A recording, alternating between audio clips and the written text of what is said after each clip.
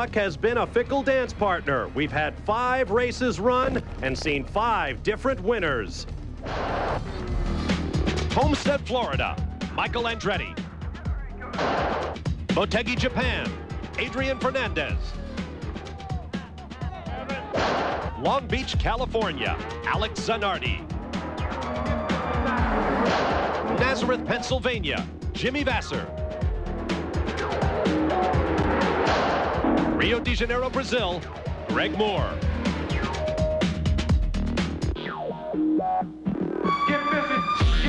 I guess I didn't. I guess I didn't.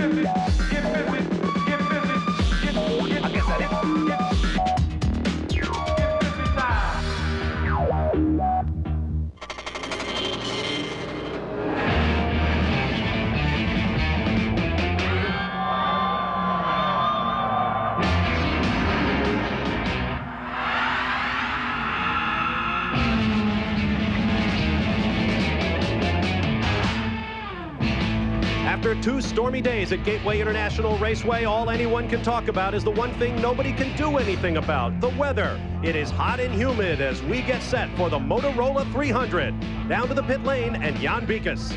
And Bob, because the grid was set because of rain by practice times, instead of having a good run at qualifying, these positions on the grid may or may not be representative of what we're going to see in the race. Right now, the top five cars, including Jimmy Vasser, are all on Firestone tires. But this morning in the morning warm-up, position two through six were all Goodyear tires. So who was the fastest man? You just saw him, Jimmy Vasser. And our pole position, Greg Moore, in the morning warm-up, he was only 21st quickest. He said, hey, don't worry about it. I want to make sure my car works in traffic. And of course, that certainly can be the key to winning this race today, how your car works in traffic. Now, joining us today is the host of RPM Tonight, John Kernan. John? Jan, you know, if your team is content with just riding around and logging laps, then the fiercely competitive Robby Gordon is not for you. Robby is consumed with winning and getting the most out of his equipment. And that's the perfect situation for the continuing development of the Toyota engine.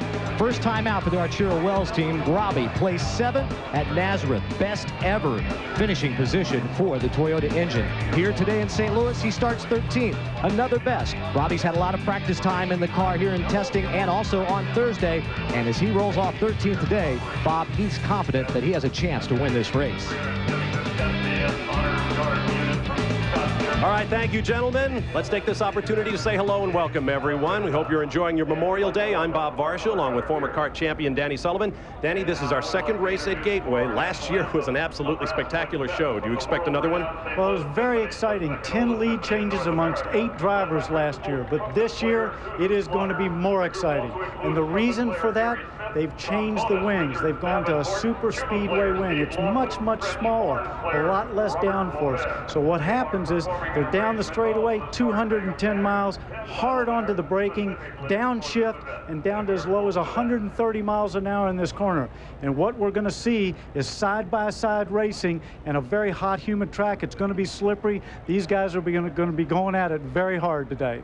Well, oval racing on Memorial Day weekend is American tradition. And now, before we go any farther, let's hear our national anthem down in pit lane. Time now for our national anthem.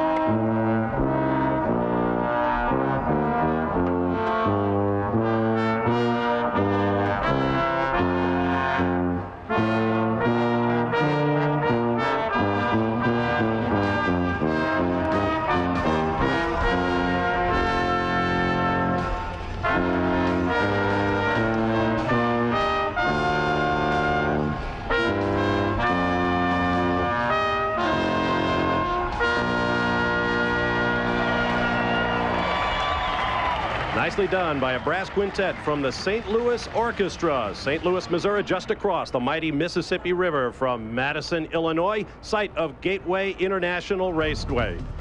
Right now, let's take you back to our Wide World of Sports studio in New York and Brent Musburger. It's Memorial Day sun by umbrellas, but right now it's time for those all important words. Down to the pit lane.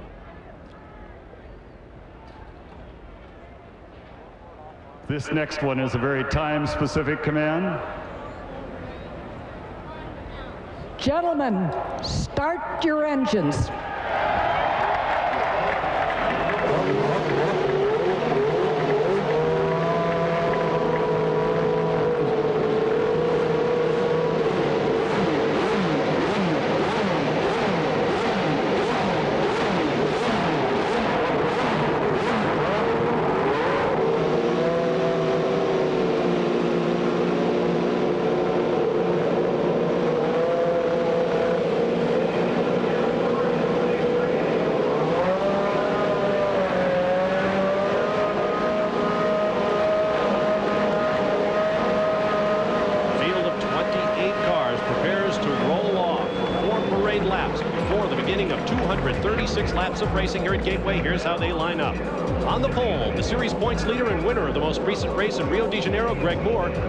Alongside Jimmy Vasser, who won on the short oval earlier this year at Nazareth.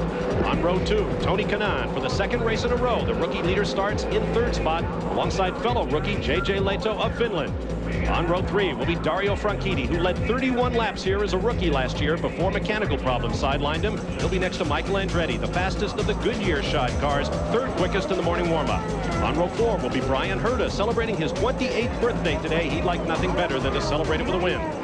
Next to him will be Helio Castroneves of Brazil, driving for the team that finished second here last year at Gateway. On row five, Al Unser Jr., his best starting position since ninth at Milwaukee last year. He'll be next to Adrian Fernandez, the winner in Japan earlier this spring. On row six will be Alex Zanardi, who's been on the podium in 10 of his last 12 races. He'll be next to Gil de Ferran, fourth quickest in the morning warm-up. On row seven will be Robby Gordon, making his full-time return to the CART FedEx Championship in Toyota's best ever starting position. Next to him will be Christian Fittipaldi, making his first appearance here at Gateway. He was fifth fastest in the morning warm-up. On row eight will be Paul Tracy, winner of the inaugural Motorola 300 here last year, starting alongside Patrick Carpentier, wouldn't you know it, the man who finished second to him a year ago. On row nine will be Scott Pruett, returning after a heavy crash in turn two here last year. He'll be next to Mark Blundell. The sponsor of his car is also the race sponsor Motorola. On row 10 will be Richie Hearn. His run from 28th to 7th at Rio two weeks ago was his best finish ever. He'll be next to Bobby Rahal, his worst starting position since the Long Beach Grand Prix back in 1996. On row 11, PJ Jones, who heads up a row for Dan Gurney's All-American Racers. His teammate Alex Barron is alongside. On row 12, Mauricio Gugelmin. His best finish of the season, ninth place, came two weeks ago at Rio. He'll be next to the Toyota-powered car of Max Papis. On row 13, Michel Jourdain Jr., who equaled his best ever finish, a 12th in Nazareth, Pennsylvania earlier this year. He'll be next to German Arnd Meier, who was such a factor in the finish at the Rio race two weeks ago. And on row 14, Andre Ribeiro, second quickest in the morning warm-up, but problems in the one and only practice the cars got have relegated him to the back row. He'll be next to Dennis Vitolo, making his third start of the season in Champ Car competition. Now let's take a look at some of the stories we'll be following as today's race unfolds. 300 miles long. The weather, of course, is a factor. The drivers have had very little time on the racetrack, and it is much hotter and more humid than it was in the one and only practice session they got two days ago. The new aerodynamic package, the small super speedway rings, wings, front and rear, will make the cars go faster in a straight line, but much trickier in the corners. Five races to open the season. We've had five winners. That has happened three other times in CART history. If we make it six in a row, we'll tie the series record set in 1991. Our race analysis, track is 1.27 miles around. Two corners very different. One and two much tighter than three and four. 236 laps scheduled. Paul Tracy, the defending champion. We expect the pit window to open for car service anywhere from laps 27 to 55. And as always, pit strategy is very much a part of each race. Now, Danny, let's talk in greater detail about this racetrack. Well, we got to move over and get off of that freeway. We're looking at the track right here. You see these cars are coming into turns three and four. It's big, wide open. It is about 165 miles an hour. When they come off of that, down a long front straightaway up to 210 miles an hour, hard on the braking, down two gears into a about 135 mile an hour corners, 11 degrees of bank. I think we're going to see quite a bit of side-by-side -side racing, particularly in one and two. Last year, the drivers were pulling five Gs in turns one and two. This year, it's down to three and a half cars are slower in the corners. To Jan Beekhuis. Well, two things to look forward to for a 300-mile race. Remember, they build engines for about 200-mile races and 500-mile races. At 300 miles, will the 200-mile versions that they have in these cars last the distance? The other thing, 300 miles, how many stops do you make it in? If you make three stops, you have to save fuel. If you go for it, you'll have to make four. John Kernan? Looking at the last row on the inside. That's where Andre Ribeiro starts. Bob mentioned that just a minute ago. Problem in practice. The problem was problem with the boost problem. They fixed that. He's very happy with the car. Let's go upstairs and let's go racing, Bob. Absolutely. 236 laps of racing schedule as Greg Moore in the blue and white machine on the left and Jimmy Vasser, the fastest car in the morning warm-up, bring the field off turns three and four, two by two. The crowd is on its feet, and they have worked for this one. They have sat through two days of rain, but now the green flag flies. We're underway. Here comes Tony Kanaan against Greg Moore into turn one, but he can't do it. Kanaan with the bright yellow nose on his radar, and he gets passed around the outside by Michael Andretti for third place. Bob, in the back of the pack, they were three abreast through one. And look at them spread out on the backstretch before rocketing into the faster turns three and four. A longer radius turn. Drivers are on. Oh, we've got a crash. One of the cool Reynards. And look, right there, up there with him is the other cool Reynard, spun in avoidance. Could both of Barry Green's cars have been involved in this incident? There's one up against the wall and heavily damaged at the right front corner.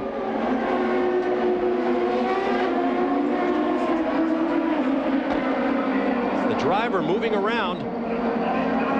Uh, what he's undoing is he's unbuckling his, his helmet from his radio connection to the pit, so he's getting out of the car. He's got no more communication to his pit crew. That is Dario Franchitti, obscured a bit there by the walkover bridge. And there is another driver. Is that Richie Hearn? Oh, Richie Hearn, who had such a great race two weeks ago in Rio in the Budweiser car with sponsorship from Ralph Supermarket chain on the West Coast. Budweiser, of course, based here in St. Louis, Missouri. So a huge turnout in support of the Della Penna racing team and Richie Hearn. And you can see his frustration. Down to Jan Beekhuis. Just spoke with Kim Green, who's on the radio with Dario Franchitti. Let's see if we can get a word. Did he say anything before that car snapped out? Uh, not before it snapped out, but he certainly said uh, afterwards that he was the yellow. He said it got loose going in through turn three, just turned around on him. So uh, short day for us, unfortunately. I think this was a case of tire temperature. It's so hot today, you would think the tires would be hot. Um, the tyres take a while for the pressures to build up because you don't have a lot of downforce. Um, you know, he's trying to keep the pressure on stay up towards the front, and I think the car just snapped out on him going through three. All right. Sorry, it's a short day. Thanks, Kim. Thank you. Thank you, Jan. Patrick Carpentier has also entered the pits. There is Carpentier being worked on by the Forsyth Racing players team. You see right there, the, all the black on the nose right there on the nose. What that is, he's got up underneath the car. Now in this replay, Franchitti has already spun at the upper left. You saw Paul Tracy going around, and look at the action down below. There is Hearn, who apparently collided with Carpentier. Right, and Carpentier took his, his left rear wheel. You see that's gone right there. He's taken that off when they made that contact. That scrambled the order. Paul Tracy also pitted, and it looks like his car is going to be taken behind You'll the wall. See right in there, that's Dario Franchitti. Then everybody back here is trying to scramble around, make sure they don't get involved in it. Now we'll see right here, here's the other one, looks like Paul Tracy right there. His nose is all messed up. And going out of your screen, of course, was Patrick Carpentier, and he got hooked up with Richie Hearn and knocked off his rear. Now there's Christian Fittipaldi, the rear wing missing one end plate and knocked askew. Looks like they're going to go to work on the back of the car and put a new rear wing on. So several cars involved in this first lap fracas here at Gateway International Raceway. There is Richie Hearn's car done for the day before the race ever got underway. What a disappointment. We'll take a break and return with more live from Gateway International Raceway. Stay with us.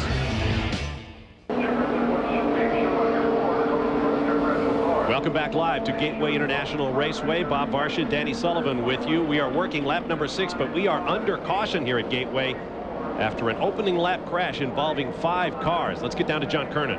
And I'm standing by with one of the drivers very disappointed after uh, the, this early mishap. Paul Tracy, what happened? I didn't really see what happened up front. There was just a bunch of cars spinning and slowing down to avoid the accident. I got hit from behind and pushed into the car in front of me, and then I got hit in the side and just just disappointing for the whole cool team. I saw that Dario was out as well, so frustrating day. I mean, the car was really good this morning. I just, it's a long race, 300 miles, and to go out on that first lap is a huge disappointment. That seems like this is the type of luck you're having this year. Uh, it's frustrating. We've had a lot of bad luck, and it just seems to be continuing, and it's a bad day for the whole Team Cool Green. Sorry to see a sideline, Paul. Let's go up pit road to Jan Beekhuis, who's with another driver who was involved in this. Yes, and unfortunately, it's his teammate. And Dario, uh, it looked like you were the first car in trouble. What happened? Yeah, I turned into um, turn three there. I was pretty close in behind Tony. I turned in, and as soon as I turned in, we lost the back straight away. I got it a couple of times, a couple of slides. I managed to catch two of them, but the third one was just too much. Uh, I was just trying to keep it out of the wall, but it got caught out. You think it could possibly be cold tires? It's very hot today. You wouldn't think that would be the trouble, or maybe something broke? No, something didn't break. We had pretty good heat in the tires, but we weren't even up, we weren't even at racing speed through there. It wasn't like it was a you know trying to go too quick in the first lap. We were pretty conservative running through there, but I think it's just the dirty air, not having enough downforce, and uh, it caught us out. All right, well, thankfully you're okay. I know you have to go get your mandatory checkup. We'll let you do that, and we'll check in with Richie Hearn, who unfortunately was behind the whole thing. You saw smoke, and then what happened? Well, we were going into the corner, and those guys were racing pretty hard. They were like two or three wide going into turn three. And uh, it happened about, about 10 cars in front of me, and just I saw obviously Dario. It was you know you saw him lose it, and everybody was going everywhere. And unfortunately, I went low, and I thought I had it, and then out of the smoke came uh, I think it was Carpentier. Uh, he was already sideways and, and clipped my right rear. There's nothing I can do. All right, sorry you're out. I know it's a big day for you, St. Louis, Budweiser, but uh, we'll see you in Milwaukee. Yeah, yeah, it's unfortunate we had a good car, but uh, yeah, we'll go on next next All race. Thanks, Bob. All right, thank you, gentlemen. The cars out. Franchitti, Tracy, and Hearn. Christian Fittipaldi and Patrick Carpentier also made visits to the pits to repair damage. Now, some cars moved up on that first lap of green. Gil de Ferran went from 12th to 6th. Robby Gordon, 13th to 8th. Bobby Rahal, 20th to 14th. Andre Ribeiro, 27th to 22nd. We'll be back after these messages and a word from our ABC stations. 100 just moments from a green flag restart. Quickly to Jan Beekhuis. Well, let's talk about the wings, and in particular the wing that was damaged for Patrick Carpentier. You can see the extreme damage here, and that's why it took a while to change this nose. But if you look closely at this wing, these are the Speedway wings we're talking about. Considerably smaller than we normally see at this track like we did last year, where the wing would run the entire length of the nose. That has taken away a lot of downforce. All right, thank you, Jan. There you see the field on the backstretch. The running order, Jimmy Vasser, Greg Moore, Michael Andretti, Tony Kanaan, J.J. Lehto, Gil de Ferran, Bryan Herta, Robby Gordon, Adrian Fernandez, and Al Unser Jr. The top 10. The green flag is out.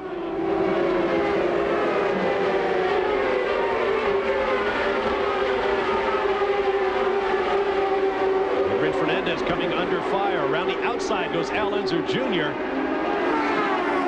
Moving up a spot. Alex Zanardi thought better of it down low. On board with Zanardi.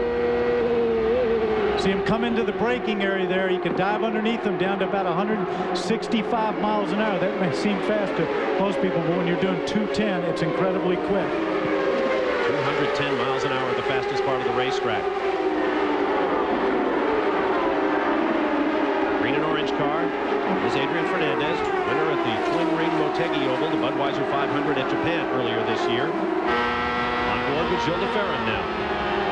Looking ahead at the rear of J.J. Lehto, having a great run. This is the home team up ahead. Carl Hogan, trucking magnate, for whom J.J. Lehto drives, are based in St. Louis. Is based, I should say more properly. There is de Ferran driving for Derek Walker in the Valvoline car. There's Bryan Herta. We have a yellow flag. We have a crash on the front stretch. Dennis Vitolo has taken two wheels off the car on the right side. And you see what appears to be in the right of your screen, right up there against the wall, his rear wing. It looks like he got it around backwards to take the right side wheels off the car. Looks like he did it on the inside wall. Have to see if we have another look at it. Dennis Vitolo returning to the series after a couple of races away. Hey, Bob, this is uh, John Kernan down in the pits. Uh, he was coming out at turn number four, and it just looked like the rear end just snapped around on him. He came all the way around and made contact with the inside retaining wall. Take another look at the top left side of your screen. At that point, he has already lost it. That's on the inside. That's the pit wall there. He would have slid it coming off of turn four, turned it around sideways, and gone down and hit the inside wall. Danny, what are we seeing here? All these cars spinning. What would you reckon is the problem? I think on the first lap, it was what Dario Franchitti said, which was a lot of disturbed air in there. They haven't done that much in practice with these little wings. They got in there three and four abreast in the corner, everybody jockeying for position. When that disturbed air comes off of those wings, it can have an effect on your car, either the front or the rear, and you lose grip there. It only takes a little bit to slide, and somebody's made contact with you. Now, in Dennis's case, we got into a little bit of a pace here, but they're finding out as the track is very hot as they go a little bit further. It's a little slippery. They're trying to pick up the throttle early to come off of that corner fast and down the straightaway, and uh, they just loop it. I mean, they're they're trying something new and different right now with these little wings. Third DNF for Vitolo in the three races he has entered as a driver this year. A crazy start to round six of the FedEx Championship Series. We'll be back to Gateway. In the heart of the Mississippi Valley, Gateway International Raceway in Madison, Illinois, where the Motorola 300 continues. We are under caution for the second time after a crash, a solo crash for Dennis Vitolo. Let's get down to the pit lane. And let's find out what happened from Dennis himself. Looked like off of turn four, what happened? It just the car was fine through turn four at the exit. It just snapped around, uh, and I lost it exiting turn four. I, I felt the car was very good, and maybe a bit too aggressive with it too soon, and it might have got away from me. And I struggled a little bit because of the rain. We only had two sessions here, and it caught me out. Dario Franchitti and you both had the same problem. They said nothing broke. It may not be tire temperature. What could be the culprit? I think it's just for me, it's just uh, chassis setup. Uh, only because of my lack of time. Not testing here, and then with the rain, we only had two sessions to dial the car in, and that just quite isn't enough. Thanks, Dennis. Thank you. Dennis Vitolo raises a good point. The drivers did not have an awful lot of time in these cars on this racetrack. They ran a session Thursday morning when it was much cooler, and then a brief session today before we prepared to go racing. To John Kernan. Bob, I'm down to Robby Gordon's pit. He's moved up from his 13th starting position up to ninth right now. We were wondering if some of the teams might want to duck in, maybe take on some fuel this early in the race as you kind of see uh, the clouds. Well, they're kind of building up a little bit again. But the team says no, they're not interested in pitting right now because if they pitted now, it would take them four stops to make it to the end of the race. They want to go on until they get to the window where they can make it on just three stops. All right, thanks, John. See the CART safety team still working to clear up the wreckage from Vitolo's accident. Dodge Viper safety cars out there with Jimmy Vasser behind. Third race that Vasser has led this year. He also led at Motegi, Japan, and of course the race he won at Nazareth, Pennsylvania. As you see Vitolo's car take it back to the paddock. Christian Fittipaldi makes another pit visit. Remember he had that rear wing changed after the first lap. Shamazel taking this opportunity to top up. Well, he's already taken on a new rear wing, so he's a little out of step with everybody. He's at the back of the pack. He's taking a gamble. Let's go ahead and fill it up. If we get a long green section, then I won't have to stop when everybody else makes their pit under uh, a green situation, and hopefully he can pick up some spots at that time. He'll drop well back in the pack. Jimmy Vasser, the leader, over Greg Moore, Michael Andretti, Tony Kanaan, J.J. Lehto, Bryan Herta, Gil de Ferran, Alex Zanardi, Robby Gordon, and Adrian Fernandez, the top 10, to Jan Beekhuis. Let's talk about the leader, Jimmy Vasser. Tom Anderson makes the calls as far as when you're going to pit. Has there been enough yellow now to make this a three-stop race?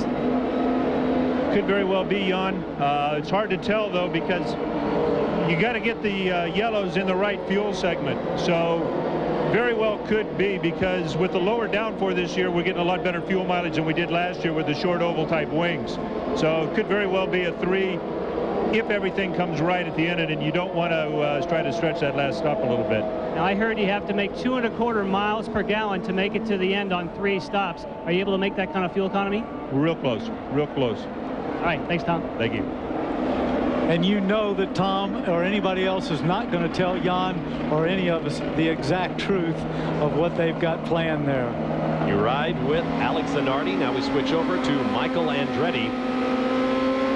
As this yellow flag continues, Andre Ribeiro and Mark Blundell pitted from 21st and 22nd. For John Kernan. Haven't had a chance to check that out. but little Al, he's running in the 11th position right now. Talk to the crew. They say they're not really sure how the car is going to do because, quite frankly, they haven't gotten to do enough green flag laps to get the tire temperatures up to what they need to be in order to build up, get the pressure build up inside the tire, which can dramatically change the handling of the race car. Danny, maybe you can talk a little bit about that. Uh, say that you know, you get an increase of a couple pounds. What kind of a change does that make to the handling of these cars? Well, John, it's a good point. As you go up in tire pressure, it stiffens the sidewalls in the car and makes it a little bit stiffer, which increases the spring rate on the car, makes the car stiffer all the way around.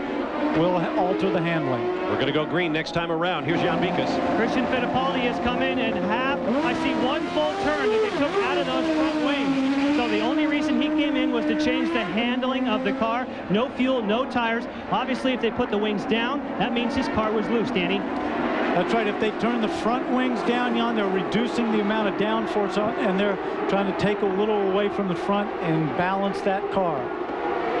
Balance is what it's all about. Very difficult with this new aero setup. We have a restart on lap 23 of 236. Jimmy Vasser leads away. Gil de Ferran attacks Bryan Herta. More action going on further back. There goes Bobby Rahal in the blue and white car. You ride with Gil de Ferran right behind that tiny super speedway front wing. See how high they have it cranked up. A little extra gurney flap added along the top there for some extra downforce at the front end. And Bryan Herta got way up there high in the gray, making a little slow. As you see right there, Gil de Ferran trying to go down the inside under braking. This is for sixth place. They also downshift a couple of times down there in turns one and two. And that's what I'm talking about. Bryan Herta stayed right around him on the outside there, side-by-side -side racing. Look, they're just still that way, and he just pulled ahead Gil de Ferran in the blue and white car. De Ferran into the number six spot. Now we go on board with Alex Zanardi. Chasing Bryan Herta for seventh now. Bob, in regards to Bryan Herta, the crew says the reason he went high was purely traffic. The car is okay. Bryan Herta is celebrating his 28th birthday today. That sounds old. Consider that his teammate Bobby Rahal began his CART career at the age of 29. Three championships later, it's clear that Bryan Herta has a great career in front of him. Alex Zanardi takes over the number seven spot from Herta. So the order is Vasser, Moore, Andretti, Kanaan, Lehto, De Ferran, Zanardi, Herta, Adrian Fernandez ninth, Helio Castroneves 10th. You see their positions across the bottom of your screen. Very quick entry to turns three and four. The longer of the two radii allows the drivers to go a lot faster in three and four than they do in one and two.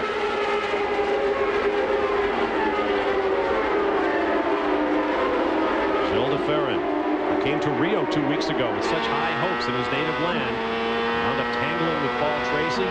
Both drivers were out of the race. And you see his right hand going down there. That's him shifting. Into this corner, he'll downshift one time. When he comes out here onto the straightaway, you'll see his hand go down, he'll upshift. Pulls that lever back, gets into top gear, 210 miles. Hard on the brakes right there. Downshifts twice more.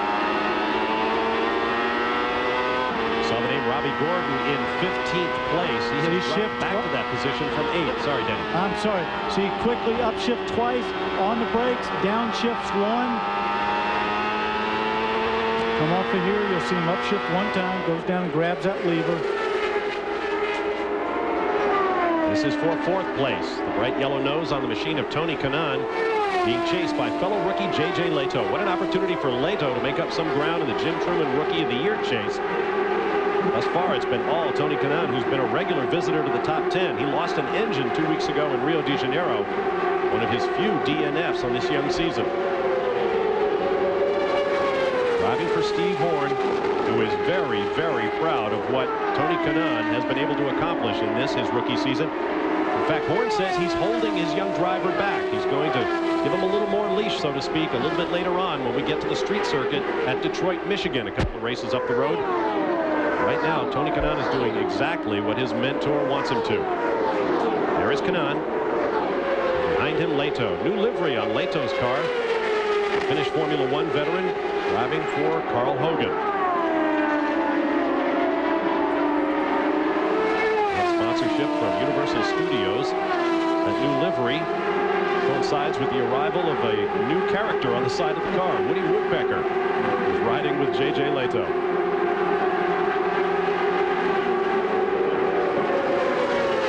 There's Michael Andretti. He's chasing Greg Moore for second place behind race leader Vasser. Let's check the steering input, see how Michael's car is working. Again, you see his hand drop down there where he makes that gear change. Now he downshifts into three and four again. The Swift chassis has worked on all the ovals. Quick burst there from the onboard radio. Well, you saw right in the middle of the corner, his left hand, his thumb went down on the button right there, and that's when he keyed the mic and talked to his crew chief. Working lap 33. This, of course, is the Swift chassis, Goodyear tires, Ford power.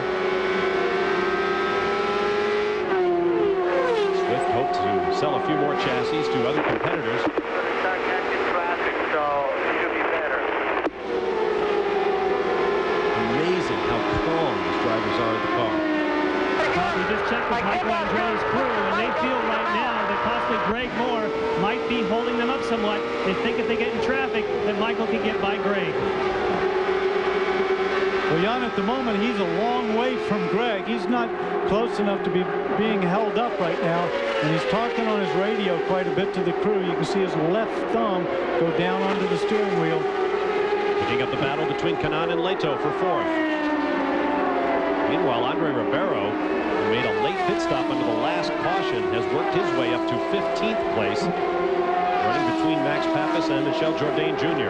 Bob, there wasn't a problem with Andre. He pitted three times. He ran over some debris out there on the track that last caution. They wanted to check the tires, clean them off. Then he came in a couple more times just to top off with fuel. And I asked the team, can you make it on three more stops? They said, I don't know. It'd be pretty close, but I don't know if they're willing to uh, adopt that strategy right now or not. Well, John, you're a little new to this. I'm not sure, sure any of those guys are telling you the truth. I don't think they want it coming out on air because for sure somebody in one of the other teams is listening to this. Well, you know, I always deal with that like Tim Brewer back in uh, the Winston Cup Series. He was the best poker player I, I could ever imagine playing poker with because he could look you straight in the eye and tell you something, and you would think it was the truth, but then you'd find out, not, it wasn't the truth. So I'll learn quickly down here for you, Danny, okay? Good luck. Or try to, anyway. Oh, right out to the wall goes J.J. Lehto. As he continues to close up on rookie series leader Tony Kanaan. Now in this situation, look at Kanaan, he slowed a little bit in the corner, and J.J. Lehto closed up a little bit. I think he got a little loose there. The back end stepped out just a, just a little bit. Lehto takes a look down the inside, but no pass there. Race leader Jimmy Vassar, who was clicking off laps in the 26-second zone, is now back in the 28s as he works traffic. That'll allow Greg Moore, who's still cruising along in the 27-second bracket, to close up on him. And once again, J.J. Lehto in the blue and white car closes up on Tony Kanaan. Battle for second continues. Michael Andretti went down low on Greg Moore, but he couldn't get it done. And Danny, when you were talking about the fact it didn't look like Greg Moore was slowing him down, remember with these speedway wings, they say that even when you're not close to someone, that the turbulence really upsets the car. So he needs to plan his move, plan way ahead, because when you get close, the car's all over the place. He's doing it right now as we speak, Jan. Michael Andretti down low takes second place from the PPG Cup points leader, Greg Moore. Car up ahead as Michael Andretti now sets sail in search of Jimmy Vasser, the race leader, as Father Mario Andretti looks on. We'll be back.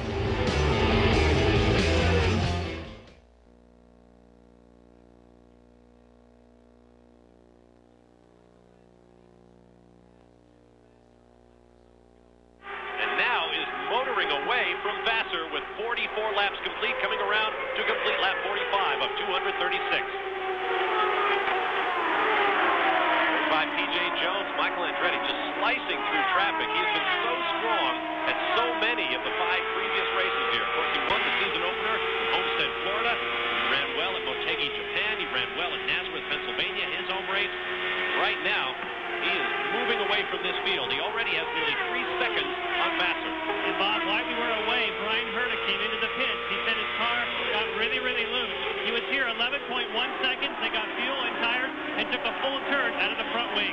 And then he got a pit speed violation. Unfortunately, not a very good birthday present for Bryan Herta. You see Herta up high being passed by new race leader Andretti. Bryan Herta and his teammate Bobby Rahal had a bizarre race here a year ago. Both cars caught fire during the race. Both drivers relatively unhurt, although there were minor burns for both men.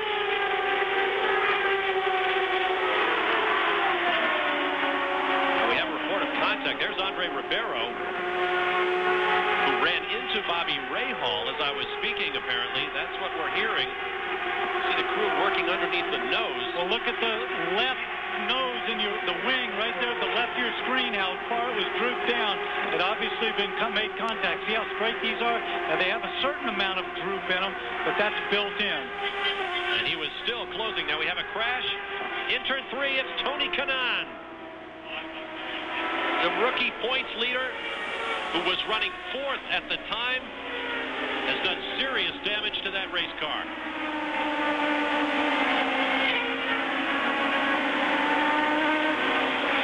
Once again, the car safety team goes to work. A big rear-end impact for Tony Kanaan.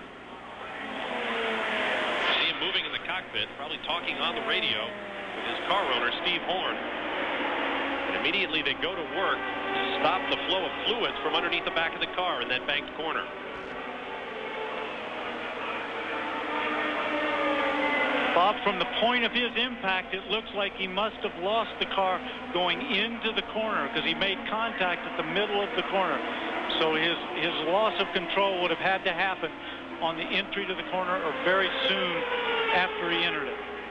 And remember, previous to that, we were talking about the contact between he and Bobby Rahal. Bobby Rahal now feels they may have damage on the left rear, so this yellow comes at a time when they can check it out. And guys, I want to update you on Andre Ribeiro. Danny, uh, you pointed out that the right front wing on the car had been drooped down. They've changed the nose on that. They've also got a problem with the suspension on the right front, so he's going to be in there for a little while. There's another look at the tail end of Tony Kanaan's crash. That was a big backward impact. There you see the crew going to work on him. That's safety two. David Hollander, who is the crew chief. Dr. Terry Trammell, the noted orthopedic surgeon from Indianapolis, Indiana, is on top of the car talking with Kanaan. You saw him gesturing at his neck. He might want a neck brace for Tony Kanaan before they take him from that car. Pat Caserta and Jeff Knapp also working on that crew.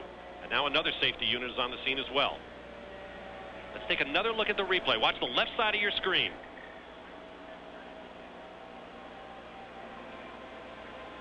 Boy, that was heavy. Tony looked like he was all by himself, just lost it, backed it up into the fence. That fire is nothing to worry about. That was just oil that came down. It was just a flash fire. That is not fuel. Uh, it's just a very quick fire. That's why you saw him putting the oil dry down there to keep it from running down on the track so it doesn't get in the groove. Nobody else has to run through it. Under yellow for the third time today. 50 laps complete. Race leader Michael Andretti is pitting, and Jan Beekhuis will welcome him to the Newman Haas pit. Yes, we will, and obviously there's not quite as much anticipation under yellow, but there's so much more that can be lost for those guys who pit at the same time. He now has spied his crew chief. He knows where to stop. He stops right on the marks, and they're not expecting to make any changes on this car. Remember, Michael Andretti is the guy who led more laps than anyone here last year. He would like to do the same thing again. Wow, that was a quick one. Let's get to Kernan. And Greg Moore, the work is completed. They made an adjustment on the front wing, trying to get a little more downforce on the front end of the car, and he's already in and out. The pole sitter dropped back to third place before this caution. Lots of other cars making stops. Getting back to Michael Andretti's stop, the Newman Haas team, the Texaco Havoline Kmart cars, have been working very hard on their on their pit stops. They are juggling personnel on the over-the-wall crew to make sure that they are as fast and efficient as possible. Back on board with Michael Andretti. We're going to take a quick break as they continue to work on Brazilian rookie Tony Kanaan, whose heavy backward crash into the wall has brought out this yellow flag. Plenty of racing still to come. We'll be back to Gateway International Raceway for more of the Motorola 300 after these messages and a word from our ABC stations.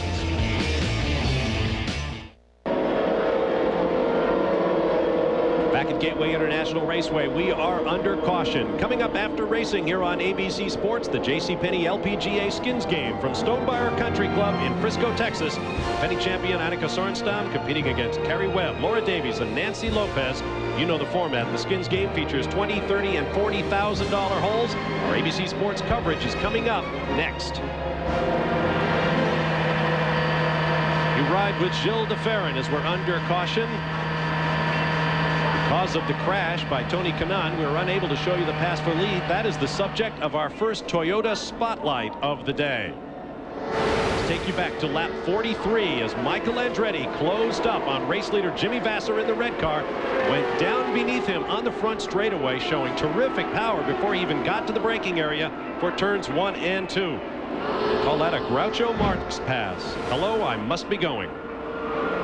Now you ride with Jimmy Vasser, currently in second place behind Michael Andretti as we work lap number 56 for our third caution of the day.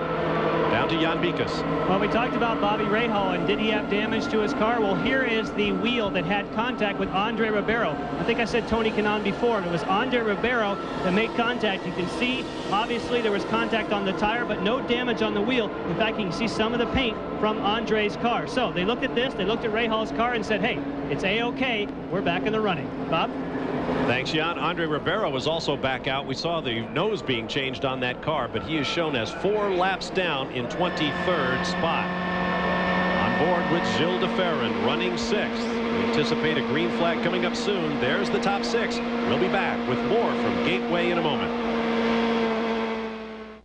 Back live on Saturday of Memorial Day weekend at the Motorola 300, round six of the CART FedEx Championship Series for 1998. I'm Bob Varsha along with Danny Sullivan, Jan Beekhuis, and John Kernan. Glad to have you with us on this very hot, humid, and hazy day in the Mississippi Valley. Down to Jan Beekhuis. Well, let's come down and talk to the coach, Dick Vermeil, who is an honorary pit member of Bobby Rahal. But I'm a little concerned here. You're reading the program looking at the colors of the cars, and you're leaning against the back fence, not up where you would change tires. What's the deal? Well, I have Ernie Conwell, our tight end, out there helping. He's big and strong. I just stand back here and stay out of the way and, and be a spectator. So coaches are supposed to be on the sidelines. Is that what you mean? You bet. Yeah, especially in this event.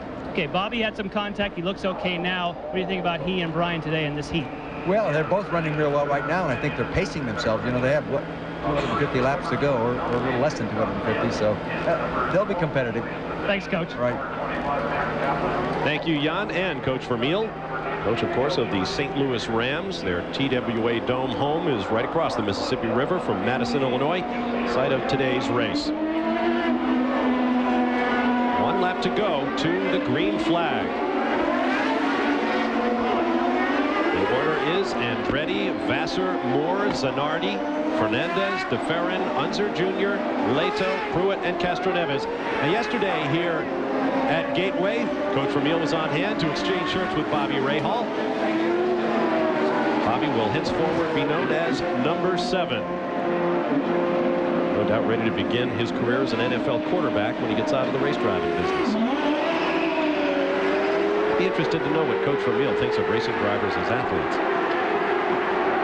The field comes back up on song, and Michael Andretti getting a great jump on this restart. Look at that black Swift come flying off turn four, followed by Vasser, Moore, and Alex Zanardi about to attack the blue car of Greg Moore for third place. He sweeps by underneath and one. So now the target Chip Ganassi Racing teammates, Vasser and Zanardi run 2-3, and here comes Alex. He wants a piece of his teammate for second. Whoa, was that close? And look how he moved up in front of him, destroyed a little bit of Jimmy's air. And he had to back off. Alex just, he's going for the front. He didn't want to wait for that. That was really close. I've got to believe that Chip Ganassi was down there holding his breath on that move. I'll bet the radios were crackling between the pits and the race cars on that one for sure. And now Zanardi appears to be able to close up pretty quickly on the race leader, Michael Andretti. This action on lap 63 of 236. When they cross the start-finish stripe. And yes, Alex Zanardi, a 26-9 that last lap to Michael Andretti's 27-3. And both cars with clear racetrack ahead of them. Zanardi easily the quickest car on the racetrack right now. Hey, Bob, I just talked to Chip Ganassi's car owner. He said all they did on that last pit stop for Alex's car was change the tire pressure. And then he looked at me and he said, hey, I think it worked. I would say so. There is Al Unser Jr. doing battle with J.J. Lehto, and that is for position. Jr. 7th, Lehto 8th. Well, reverse that as Lehto takes the position away coming out of 2. Picked up a couple of spots on that last pit stop. He came in sixth, went out fourth, and you've seen what he's done since then. Adrian Fernandez also went from seventh to fifth, and Al Unser Jr. right there went from ninth to seventh, the position he just lost to Lehto. Here comes Helio Castroneves down underneath Scott Pruett. Pruett having none of it. That's for ninth place. Bobby Rahal, third car in that line. As you look at Helio Castroneves and the Alumax machine for Tony Bettenhausen's team, the car was driven to second place in this race a year ago by Patrick Carpentier. There is Scott Pruett, who had a massive rear ender with the concrete wall here a year ago. Huge crash. He has had a very rough start to his season in the Visteon car for Pat Patrick Racing.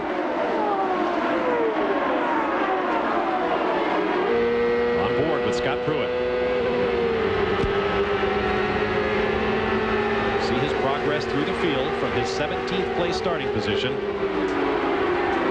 His current spot in ninth. And this spot right here is where he crashed last year. And you see his hand, just like everybody else's right handle, drop down in the cockpit, pulls back on the lever, sequential gearbox, and upshifts the car. And he did not downshift for this corner. He's only going down one gear into turn one and two and not changing at all. That tells me that he's conserving fuel and trying to do it on a little bit better, uh, better fuel mileage so he doesn't have to make as many stops. Because every time you downshift and have to stand on the gas and shift up, you use more fuel. That last lap for Pruett, a 27.3, pretty much in line with what everyone else is doing, except for Michael Andretti on that last lap. The race leader his game to a 26-9, gaining a little ground on Alex Zanardi. Zanardi was closing up on his gearbox just a few laps ago. Now the gap is out to nearly two seconds. Bob, what I see there is that Alex Zanardi changed that tire pressure. He obviously went stiffer on the tire pressure, so on the restart he had a better handling car. Michael Andretti took a little time to get the pressure up in his tires until he could go faster with the when the once the tire pressure had gotten up. I think now you're seeing Michael's car handle the way it was before that pit stop and uh, when he was knifing his way through the field. And Danny, a few races ago, they used to have a device at Newman Haas that would allow Michael Andretti to start with high pressures, and then it would bleed the pressure down to what they wanted. But because the system was so expensive, CART decided to ban it before everyone had spent the money on it. And so now you have to do exactly what you said. You have to take your chances on the cold pressures in the pits and hope everything works out the way you want. Michael Andretti, the winningest active driver in the series with 37 victories, including his win on the Homestead Oval in the season opener. He has led nearly 5,000 laps in his CART career. That you heard being coached by Ed Nathman, the team manager, to conserve fuel. Checking speeds at the line. Look how much faster Michael Andretti is than anyone else. J.J. Lehto, second fastest. Gil de Ferran third. Ed Nathman told him to go down to position six and seven. They have nine selections on most of these cars of different fuel settings on the car, from 100% fuel down to say 82%, where they can conserve fuel in different positions. Now, they lost a tick on that lap. Second quickest to Alex Zanardi, but only marginally so. Jimmy Vasser, third place car in the line, third fastest on that last lap. And Danny, on that fuel mixture knob that you're talking about, every race, the position means something different. They change the locations of each one so that when we listen to the radio communications, as well as other crews, when you say position two, it does not mean the same thing that it did last race. That way, they don't know what the other teams are doing. But in this case, we know he's leaning it down. Max Papis and the MCI-sponsored Toyota Reynard just made a pit stop on lap number 74. Checking speeds once again. This time Michael, the fastest over Jimmy Vasser and Alex Zanardi. I mentioned Michael's 5,000 laps in the lead. The next busiest driver in terms of leading laps in the series, Bobby Rahal, is 2,500 laps behind Michael Andretti. That's how dominant he has been in recent years. Michael Andretti remains the leader with 75 laps complete, but plenty of racing still to come in this 300 miler. We'll be back. Back live at the Motorola 300, round six of the FedEx Championship Series for 1998. Coming up tomorrow on ABC Sports at 11 a.m. Eastern Time, 8 a.m. Pacific. You know all about this one. Live race day coverage of the 82nd running of the Indianapolis 500. From the Indianapolis Motor Speedway, Billy Boat on pole, points leader Tony Stewart in fourth spot. Last year's winner, Arie Luyendyk, 28th starting position with rookies ahead of him. Heard quoted as saying he'd like to be further back in the field so he's not behind those rookies when they throw the green at the Indy 500 here on ABC Sports. Now John Kernan has more on Alex Zanardi's situation. Well, Alex Zanardi's crew is working on the tires. It looks like they're going to be going up maybe a little bit more on the tire pressure. So apparently uh, they, they do not like the way the car is right now. His teammate Jimmy Vasser, he didn't make a tire pressure adjustment last time. They made a wing adjustment for him, and uh, his car was just incredibly loose. Two turns on the front wing just to try and tighten it up. But Jimmy still hasn't said anything to them as to if the car is handling, but they have made a change on some tires for Jimmy to get ready for the next pit stop. We'll have to check that out and see what changes they're planning. All right, thank you, John. You're looking at J.J. Lehto running in seventh place, the highest running rookie in the field right now. Helio Castroneves is back in 10th spot, the next rookie in the line. The order is Michael Andretti, whose gap is 2.8 seconds over Alex Zanardi. Then Jimmy Vasser, Greg Moore, Adrian Fernandez, Gil de Ferran, J.J. Lehto, Alonso Jr., Scott Pruett, and Helio Castroneves. Bobby Rahal is 11th, Mark Blundell 12th, Mauricio Gugelmin, his Pac West teammate back in 13th. They've been very loose. 14th is Alex Barron, 15th P.J. Jones, 16th Arnd Meier, and 17th is Robby Gordon, 18th Patrick Carpentier, followed by Michel Jourdain Jr. and Max Papis. Christian Fittipaldi, shown three laps down in 21st spot, has made six pit stops to this point. And Andre Ribeiro in 22nd is four laps down. He's made four stops. 12 cars on the lead lap. As you look at Al Unser Jr., who had an interesting trip here to Gateway International. He was testing at the Mid-Ohio Sports Car Course in Lexington, Ohio, where we'll be racing a little bit later on in the season. He was driving his motorhome towards St. Louis. The, the vehicle broke down. He called the president of his fan club for help. They got him a ride in the co-pilot seat of a cargo plane. I guess he needed the extra space. He was carrying three driver seats and a couple of helmets with him. And Al got here very late on Wednesday night. Hey, Bob, uh, developing story on Jimmy Vasser running in third place right now. Just been told by the crew that his weight jacker is broken. So, Danny, you know, what kind of an effect is that going to have on him for the rest of this race? If it would seem the handling, he wouldn't have any way to adjust once the, what, the fuel is burned off, right? The weight jacker is critical if your car is not very well balanced and you actually have to use it. As the fuel lightens, you'll put a little bit more weight on the left side and change the handling of the car. But if it's handling well, like Jimmy's appears to be, he's, he's running third. I'm not so sure he'll need it during the race.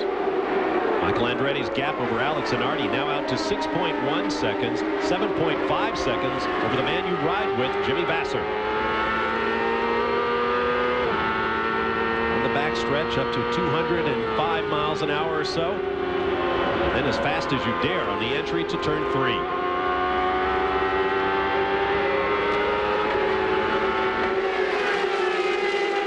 Max Papis just ahead of Vasser. Behind him is Greg Moore running in fourth place, so Moore is closing up on Vasser for third. Michael Andretti remains the fastest car on the racetrack, a 26.9 lap last time around. Working lap number 90.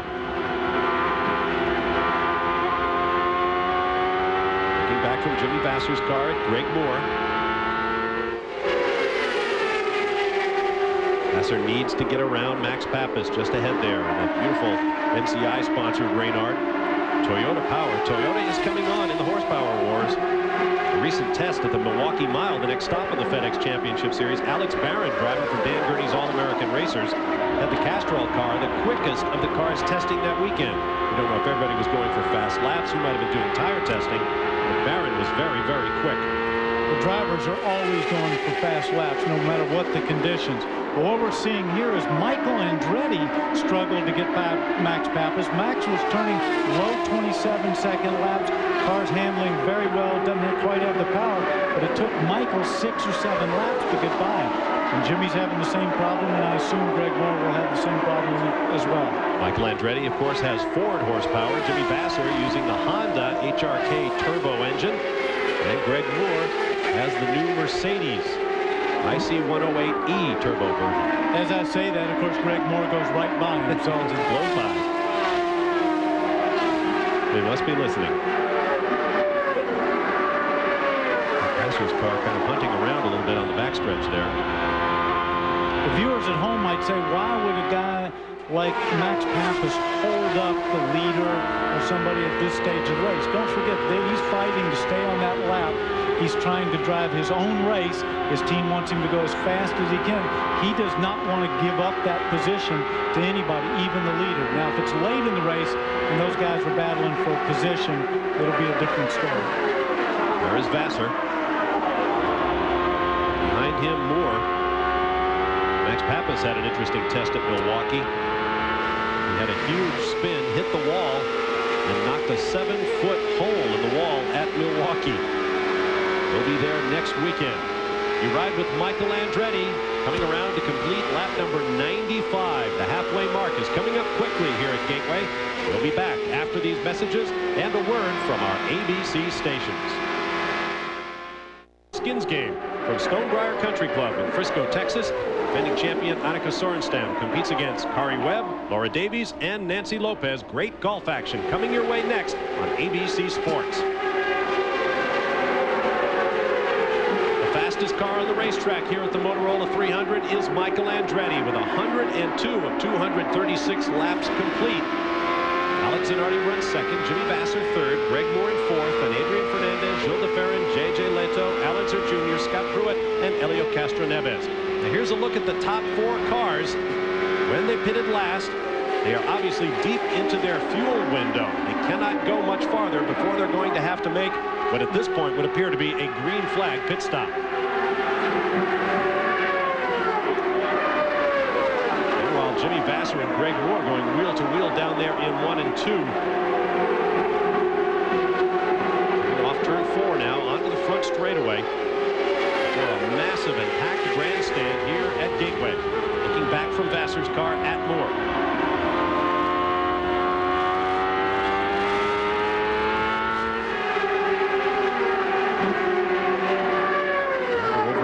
Difficulty of the athletic exercise here in very hot and humid conditions, running 300 miles.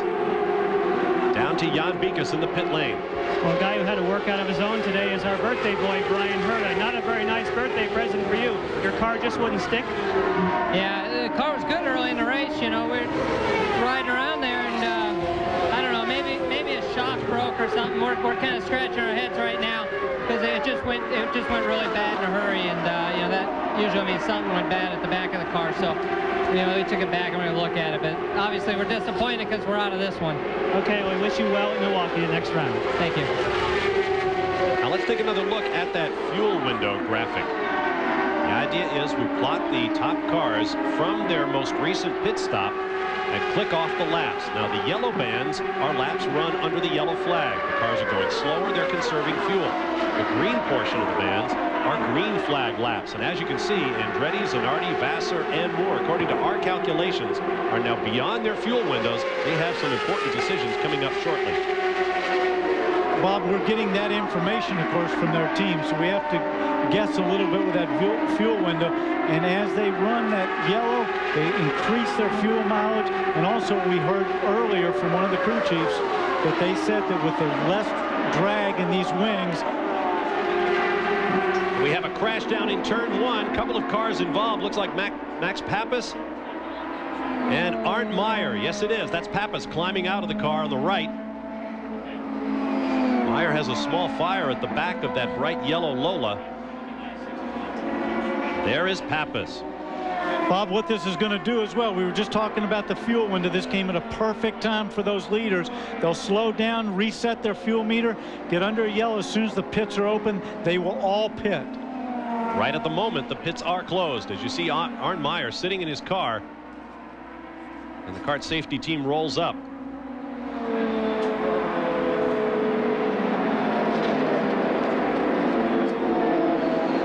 Safety three on the left. John Mull, Bill Kinsey, Phil Layton, Rick Shores. Going to work on the fire at the back of the car. Let's take another look at what happened. Down at the lower left your screen, Max Papis in the middle, the bright yellow car of Arnd Meier. He had nowhere to go. Arnd turned down. They touched up into the wall. Big, big hit. Papis went in with the wall on driver's right. Meier went in backwards. I always wonder about a driver's neck in those situations. Tony Kanaan was taken from the racetrack to a local hospital for precautionary x-rays complaining of pain in his neck, but he is conscious and alert. Usual statement for a driver who does not appear to be any any threatening situation. These cars have incredible safety mechanisms and the seats are are fantastic and all the padding around the helmet but you're still at that point right there they were going down from 210 miles an hour to about 150 right there when they make contact 150 miles an hour backwards into a wall that does not move is very hard pits are excuse me the pits are now open I beg your pardon. We expect the lead lap cars to be in shortly. They'll be followed a lap later by the lapped cars. Michael Andretti already getting into position, coming into the pit lane. See his finger on the button on the left. He will control his speed when he gets around to the first pit, and it keeps the car from going over the designated speed limit. This yellow flag is a break for Michael Andretti and the other lead lap cars. On the other hand, Al Jr. lost a lap just three laps before the caution came out. Bobby Rahal lost a lap. He was passed by the leader two laps before the caution waved. Michael Andretti comes to a stop here, and last time they did it a little over nine seconds. We'll see how fast it is this time. Four tires and fuel. We don't see any wing changes at the moment. Pointing out the front tire. They were told to move it. I get 11.4. John Kernan. Alex Zanardi has been in. No changes. And there goes Jimmy Vasser. Zanardi, no changes other than another tire pressure adjustment. And I asked Chip Ganassi if they were close enough to make it on one more stop. He said, no way. But one of the crewmen leaned over and told me after Chip turned, his, turned around and said, we're very, very close. All right, thank you, gentlemen. It looked like Michael Andretti made it out first, Alex Zanardi in second, and Jimmy Vasser in third. We'll check that as they cross the Omega timing stripe. There is Zanardi, our fourth yellow flag of the day. We're on board with Michael Andretti. Let's get back down to Jan Beekhuis. Max Papis, he went for a move in the middle of the road. Arnd Meier on the high side. Then what happened? This is not good racing. I'm very disappointed, you know. You know, he got a lot of, you know, he got already seen, you know, doing very strange moves, and you know, he, he, had a loose car and he closed down to me. He hit my car, you know. I'm very disappointed on his driving. This is not good racing. I'm sorry. Now, are you okay? That was a big hit for you. Now, do you think there's room for three cars wide in turn one? He was somewhat high, but not high enough. No, he thought he was high. He closed down. That's the problem. And uh, you know, I don't know if it's room for three car, but you know, for sure it was room for mine. Okay, well, good thing that you're walking, and uh, that's the news, the good news. Thanks, Jan. And the word from the CART safety team is that Arnd Meier appears to be okay as well. That's good news. There is Michael Andretti. We'll take a break. Right now, let's return to our Wide World of Sports studio in New York and Brent Musburger. We're back live at Gateway International Raceway. Bob Varsha, Danny Sullivan in the booth. John Kernan and Jan Beekhuis in the pit lane for the Motorola 300. Here's the view from high overhead, courtesy of our Honda Helicam. Very foggy morning here in the Mississippi Valley is lightening up with every minute that passes. It's good that we could get the Honda Helicam up there to give us a great look from above Gateway International Raceway as we prepare to go green once again here at the Motorola 300. There is Greg Moore running in fourth place right now, and he is the subject of our second Toyota Spotlight of the day. Moore started racing at a very young age and has found success at every level. He still lives in his hometown of Maple Ridge, British Columbia, where he enjoys an active lifestyle.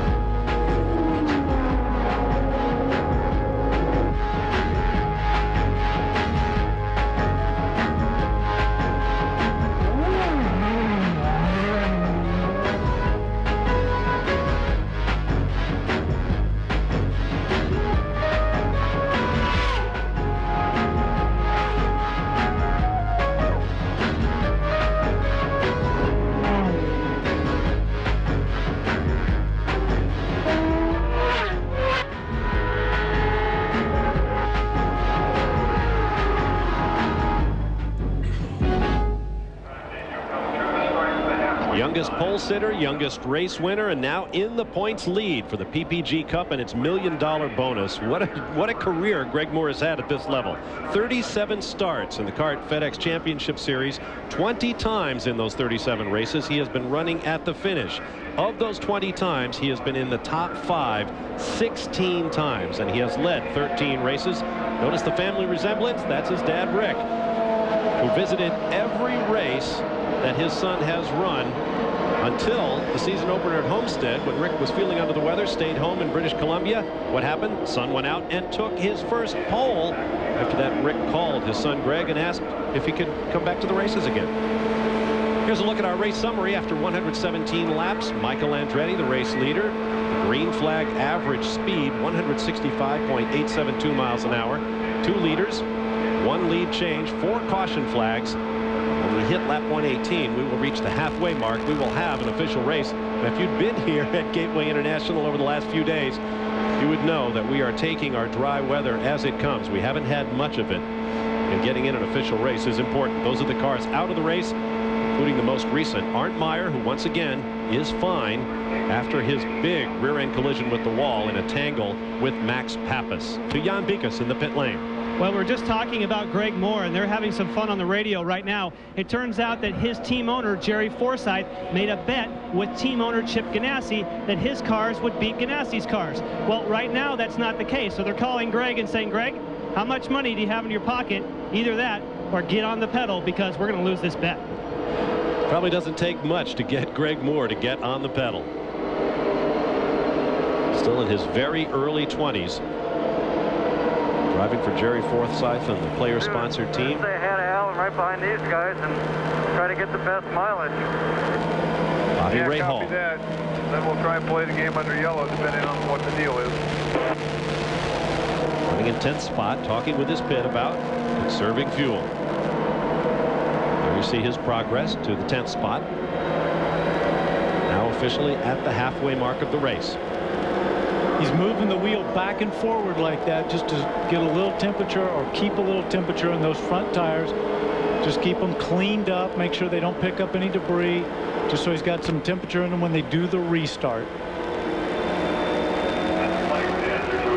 Hey, Jan was just talking about the bet between Forsythe and Target Chip Ganassi's team. Just talked to Chip Ganassi, and I said, what's at stake here on this bet? Chip looked at me, he says, I'm not going to say, but he's a lot higher roller than me. And then smile.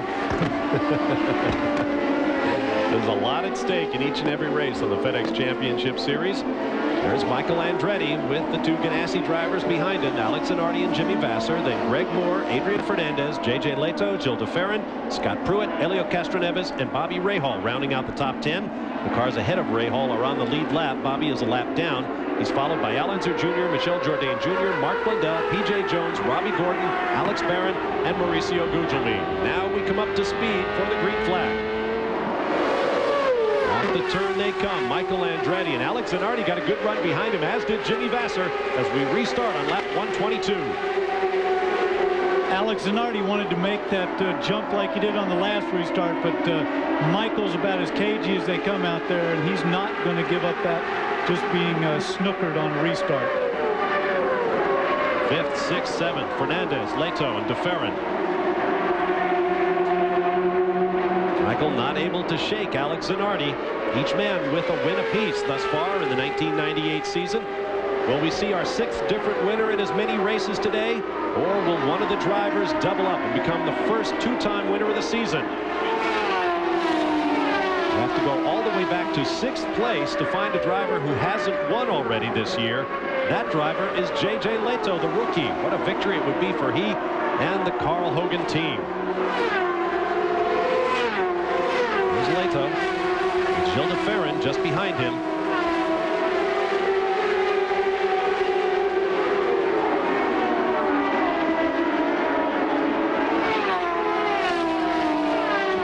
Three and a half G's through these corners on a very hot day. I guess the temperature right around 90 degrees, maybe a couple of clicks over. Very, very high humidity. And the area around Gateway International contains a number of lakes and ponds and streams. Of course, the Mississippi River itself is not far away, so there is plenty of humidity in the air. Bob, even though last year they were pulling more G-force through the corner because of greater speed, these guys are having to work probably harder this year because they have less downforce, so the car is much more on tiptoes, and they've really got to be careful when they pick up the power and they're skating through and be very gentle. So they are very busy in that cockpit. And Danny, when you're talking about being busy in the cockpit, that is the report from Walker Racing and Gil de Ferran. The car's not pushing, it's not loose, it's just sliding across the racetrack. They don't have the kind of grip that they want, and right now there's not a lot they can do about it on pit road. Gian watching them on the backstretch. There's Christian Fittipaldi running in 17th place. I think that's 16th place. He has gotten around Alex Barron for the 16th spot. While word from the pit lane is Mauricio Gugelmin is going to be penalized. The Pac West team continues to struggle. Winners of four races last year. Trying to get competitive in 1998. Out with Bobby Rahal in his final visit to Gateway International Raceway. His co-owner David Letterman has provided tickets and t-shirts and lunches and more for 100 children as part of a program for underprivileged kids here in the St. Louis area. So even though the late night host isn't here himself, is here in spirit with the kids that he has sent to the racetrack to watch his co-owner Bobby Rahal in action. Rahal is a lap down, racing with Al Unser Jr., Michel Jourdain Jr., and Mark Blundell.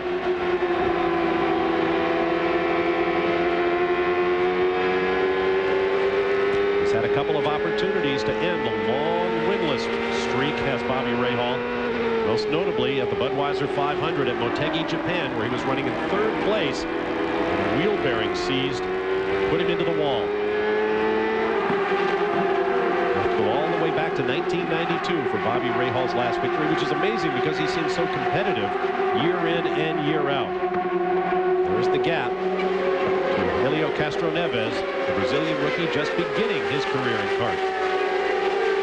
And remember that he's in the Rookie of the Year chase, and with Tony Kanaan having an accident, today could be a big day for Helio Castroneves. Of course, both he and Tony Kanaan were teammates last year with Tasman, and if he can make some points here, he could certainly close up on that Rookie of the Year battle. I'm sure that is uppermost in the mind of Tony Bettenhausen. getting his man up in the chase. As we ride once again with Bobby Rahal. Keep in mind, J.J. Lehto right now in sixth place is the highest running rookie. Castroneves is ninth. Alex Barron is 15th among the rookies. Back on with Michael Andretti now, running two seconds clear of the second place car of Alex Zanardi. So once again, it appears that Michael, with that Ford engine, Swift chassis, and Goodyear tires, seems to have the measure of the field. Checking the speeds at the line. Andretti 170 plus faster than Alex Zanardi and the third fastest car on that last lap Adrian Fernandez. Michael Andretti also did the exact same thing last time at the restart. He was a little slow on the restart. Alex Zanardi was right there with him. As the tires came up to pressure, he just starts pulling away. He's got a very good handling car at this stage. And Danny, it seems as though tire pressure may be the key today. Bobby Rahal did not have a good handling car. They raised all four of the tire pressures for him. And now, although he's farther back than he wants, he's much happier with the handling of the car. So the Kmart Havoline Swift with Michael Andretti at the keyboard remains the race leader. What a brain trust in his pit, including Father Mario. We'll be back with more from Gateway in a moment. Welcome back to Gateway International Raceway. You ride with Scott Pruett running eighth in the running order at the Motorola 300. Bob Varsha, Danny Sullivan with you. We've got dibs on John Kernan. Reese Davis at 9 p.m. Eastern Time tonight. We'll have all the news of the day in motorsports on RPM tonight here on The Deuce, including the CarQuest 300 recap, Busch Grand National race going on today, Indy 500 preview, and highlights of the Craftsman Truck Yellow Freight 200. All coming your way with Reese Davis tonight on RPM tonight, 7 p.m. Eastern Time. Now, speaking of RPM and its various hosts, we have dibs on one this weekend. Here's John Kernan. Thank you, Bob. Of course, don't forget Monday through Friday, 7 o'clock Eastern on ESPN2. Down in Scott Pruett's pit, he started 17th today. He has worked his way up into the 8th position. They've had some very good pit work all day long, and they are on, a, they can make it with one more stop. What they've been doing is put a turn in the wing up front each time. The car developed a push, also a tire pressure adjustment. Right now, they've just about got it where Scott really likes it. The only problem is he's got some ground to make up if he's going to catch up with Michael Andretti up front. Notice as Scott Pruett goes into the corner over those bumps, he gets a little more movement in that steering wheel than some of the other cars we've been riding on. Bob, that's an exact reflection of how the car's handling compared to Michael Andretti's. There's more movement in there. He's not getting the handling that he wants. That's why he's running back in eighth spot, and Michael Andretti's up in first. Big bump on the entry to three there. Bob, when you're talking about the bumps, it's the shock absorber engineers that have been very busy this weekend. They can plot those shock movements on their computer and then change the high-speed dampening of those shocks just to work on the bumps. And they have a low-speed setting that keeps the driver comfortable in the corners. And so right now, it's that computer technology that doesn't seem to be quite tuned where Scott Pruett wants, and some of the other guys have hit it right on. Thank you, Jan. Let's catch up with Gil de Ferran running very quickly. He is in seventh spot right now. Let's compare his steering input in these corners.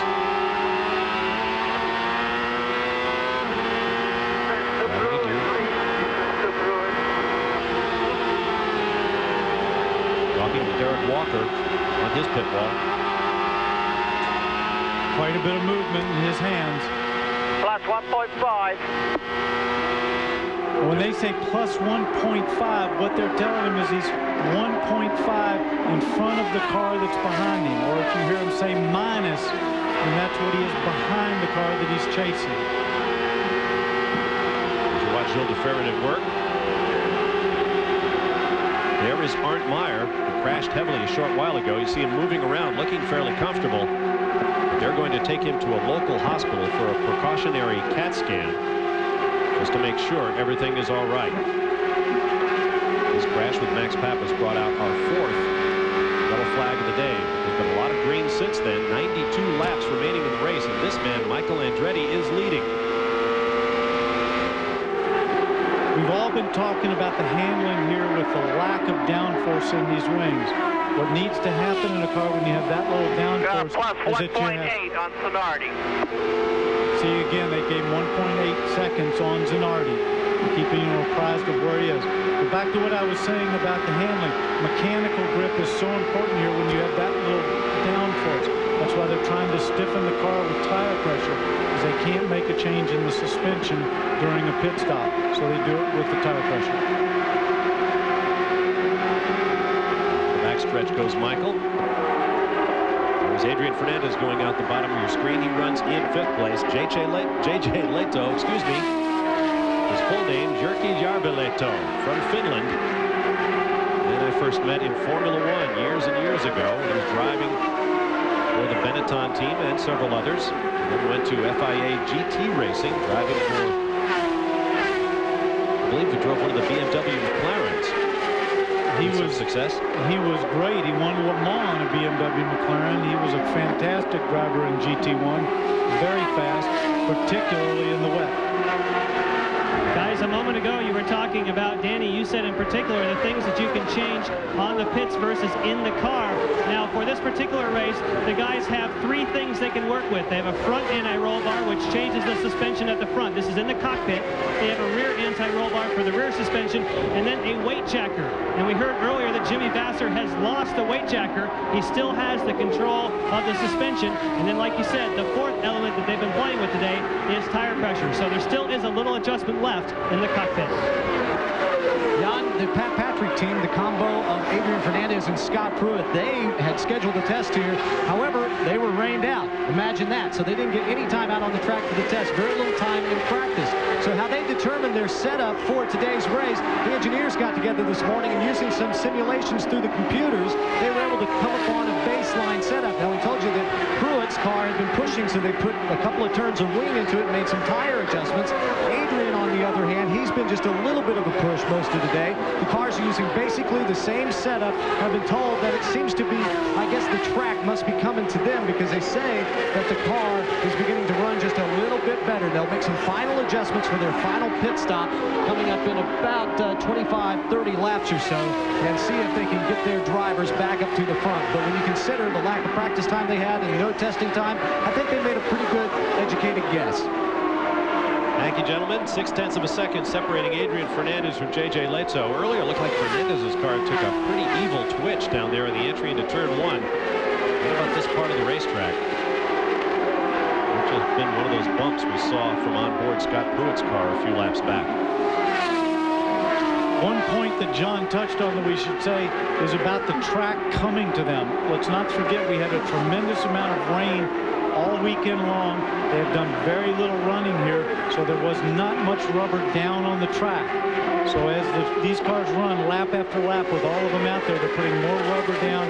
The grip is coming up a little bit higher, and there, some people's car will come to them in that situation. Almost like a street course. As the rubber goes down, the cars get quicker throughout the day, and some of the fastest laps of the race are run in the late stages. Michael Andretti leads. We'll be back after this message and a word from our ABC stations.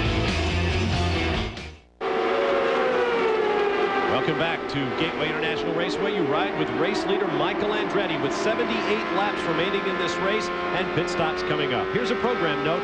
Next Saturday on ABC Sports, the last warm-up game for Team USA before the World Cup tournament begins in France. Two World Cup qualifiers, the USA versus Scotland from Robert F. Kennedy Stadium in Washington, D.C. Among the USA players, Alexi Lalas, Eddie Pope, Kasey Keller, next Saturday, 1.30 Eastern Time on ABC Sports.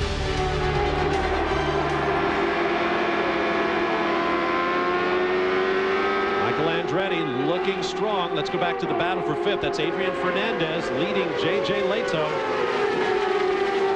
161 laps now complete. Lehto's best finish, 10th at Rio de Janeiro. And coming up behind Lehto is Gil de Ferran. There you see him coming up very fast. He's going to blow right by the rookie on the backstretch. Lehto slowing. Will he head for the pits? He does not. But he did slow in that corner. He slowed drastically, which gave Gil de Ferran a runoff. Now, that could have just been but the car slid. Andretti, Zanardi, Vasser, they're all in their window. Now, we were at this stage last time. They went a little past this. And then we had the yellow with Arnd Meier and Max Papis. So with these yellows a little bit longer, they're, they're 10, 11 laps. They could stretch it maybe four or five more laps before they're going to have to stop. Danny, Alex Zanardi is running in second place right now. I've just been told they want to try and stretch it to lap 180 before they come in and pit. Jimmy Vasser, on the other hand, we would expect him to pit in about 12 laps around lap 175, 176. Wow, that's a long way. 180 is 17. Make that 16 laps from now for the race leaders. And we have a report that Michael Andretti could be in a little earlier than expected because he's reported on the radio and may have a tire vibration of some kind. So the crew is looking that over carefully. Of course, they have the tire pressures they can monitor here on pit road, but potentially a problem for Michael Andretti. Maybe not a serious problem. He can always duck into the pits and get new tires. But Michael Andretti knows all about tire problems. If you were with us for round three in Long Beach, California, where a tire began to delaminate and from on board his car we watched him take lap after lap at top speed talking with the crew the whole time should we stop no pressures are good times are good and then boom Michael Andretti's race was over in the biggest possible way And we saw a delamination at that situation. That's not the case here. There's nothing wrong visually with his tires. He could have just thrown a wheel weight and give him a little vibration Picking up the action further back. Alex Zanardi runs second. There's Greg Moore. Two will be looking at a pit stop sometime soon. Bob, the problem we all have up here in the booth is what strategy are these guys on? who's running strong and thinks he's going to make another stop, and how many people are conserving fuel. It sounds like Alex Zanardi is conserving fuel if he's going to try to go another 17 laps. Hey, Danny, got an update for you on that. Chip Ganassi just uh, said, come over here. I got something to tell you. He said, not 180. We're going to go to 177 for Alex, and Jimmy's team has decided to try and go to 178. So that's still quite a number of laps. And uh, as we got, what, 10 more to go before we see Jimmy in and nine before we see Alex, who's in second place. Well, the Target Chip Ganassi Racing crew has pulled some savvy pit strategy earlier this year, producing winners for both of their drivers. To see if they can do it again here. We'll be back. Under our fifth yellow flag of the day, and the car in question is that of Al Unser Jr. on lap number 172. He rode it up high and hit the wall on the driver's right. And once again, the CART safety team responds. This is on the front straightaway, almost beneath the flag stand. There you see Al Unser Jr. climbing from the car. He appears to be just fine. The same could not be said, however, for the car. Although I saw, saw him limp a little bit there when he see how he's limping just a just a hair when he's walking across there.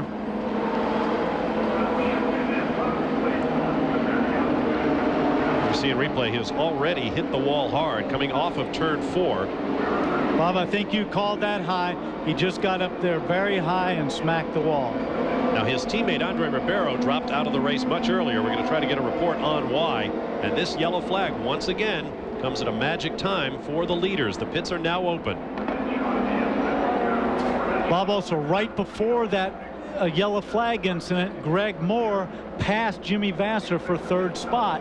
And then the yellow comes out. It was very timely for him as well. That's right. During the break, Greg Moore got around Jimmy Vasser for third. So it is Michael Andretti, you see behind the PPG pace car, being driven by Margie Eatwell from Phoenix, Arizona this weekend, part of the PPG all-female safety car team. Michael will pit. No doubt the rest of the lead lap cars will be right behind him. Eight cars shown on the lead lap, the eighth being Elio Castro Neves. This pit stop should also give them the perfect window. They'll fill it up. They'll have a few laps under yellow, and they should have enough fuel to go all the way to the end in green flag racing. Okay, and we're looking at Michael Andretti to see if we see any blisters on the tires, anything that might cause a vibration. It wasn't obvious when he first stopped. This should take a little longer because the fuel flows slower. 12, 13 I think Zanardi's already by. John? Zanardi had a great pit stop and Greg Moore problems. It looked like he stalled the car momentarily, but then he lights him up and heads down. But Zanardi's crew, they are high-fiving here. Just an absolutely great pit stop. Tires, fuel, they did not make any winning adjustments. Only tire pressure adjustments. No question about it. The Target Chip Ganassi Racing Team got Alex Zanardi out first. There you see the crew congratulating themselves. And you know it's Zanardi's crew because his fueler and the vent man are wearing identical helmets to the one worn by their hero. So Zanardi got out ahead of Michael Andretti. Now you see what they're doing there when they're tipping the hose back up. They're making sure that the fuel that's left in there gets dumped back into the tank. Greg Moore got out ahead of Jimmy Vasser. So the order is now Zanardi, Andretti, Moore, Vasser, then Adrian Fernandez. Scott Pruett shown sixth, Gil de Ferran sixth, down to Jan Beekhuis. Bobby Rahal is not on the lead lap, so now it's his turn to pit. They've got the four tires. They're also waiting for the fuel. Eight, nine seconds counting. 10.8 for Bobby Rahal. Let's get to John Kernan. Good Chip Ganassi. Chip, just very quickly, uh, great pit stop. I'll tell you, my guys are the best in the pits. I've said it before. I got the best team.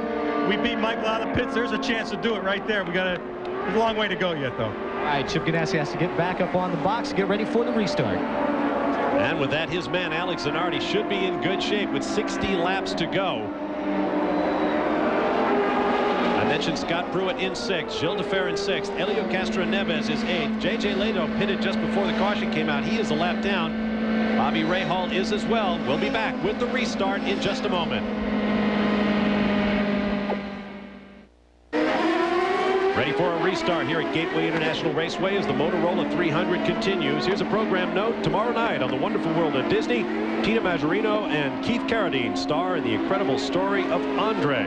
Then Connie Sellecca and Gregory Harrison share a dangerous affair on the Sunday night movie tomorrow night on ABC. Let's see if Alex can, Zanardi can do his bonsai start that he did the last time, and can Michael Andretti hold on to him? Here's how Alex Zanardi got out front on our pit stop analysis. Michael came in first, Alex second, Greg Moore third, Andretti went out in second spot. Zanardi got out first, and Moore remains in third place. Andretti spent just a fraction of a second longer than the other two in the pits. Restart lap 180, 56 laps to go. Coming up on shootout time. No more pit stops should be needed for any of the front-running cars. It is Zanardi, Andretti, Moore, Vasser, Fernandez, Pruett, de Ferran, Castroneves. Those are your lead lap cars. Then Bobby Rahal and J.J. Lehto round out the top 10. Mark Blundell, P.J. Jones, Alex Barron, Christian Fittipaldi, who has stopped seven times today to everyone else's three, or nearly everyone else's. Robby Gordon with three pit stops runs five laps down in 15th place, followed by Michel Jourdain Jr. and Mauricio Gugelmin. Michael Andretti runs second as you look at Greg Moore. Jan Beekhuis has more on Michael. He made a 13-second pit stop, and I checked in with the crew and said, were there any miscues? They said no. It took the full 13 seconds to get the fuel into the cars. I said, well, how did Alex Zanardi beat you? Did he get all the fuel in? They said, well, knowing Alex, he got the fuel in. We don't know how they stopped faster than we did. The they found nothing wrong with the tires. They believe it's what's called pickup. In other words, the rubber that's left on the racetrack started to collect on the inside edge of the tire. That caused the vibration, so Michael should be okay. Looking back from Jimmy Vasser's car. There is the race leader, Alex Zanardi. Michael Andretti led more than 126 laps.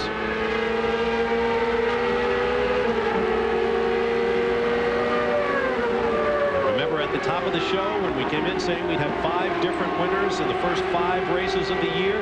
Those five men, Zanardi, Andretti, Moore, Vasser, Fernandez, all running in the top five positions. So right now, it looks like we're not likely to go to a sixth different winner, which would tie the CART Series record set back in 1991.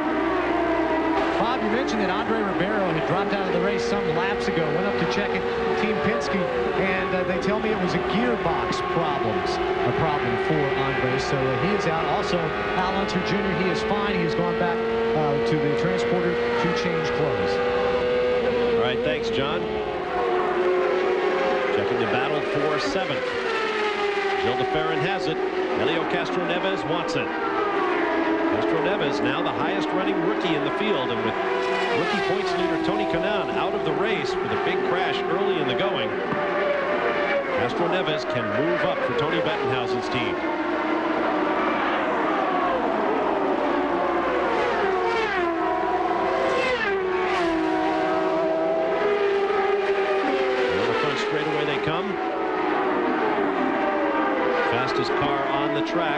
is Alex Zanardi turning his last lap at 26.664 seconds.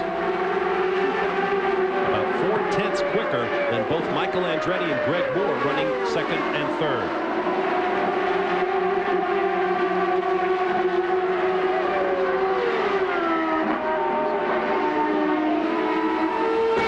according to Ganassi Racing, the reason they were able to pit faster than Michael Andretti, they give the credit to Alex Zanardi.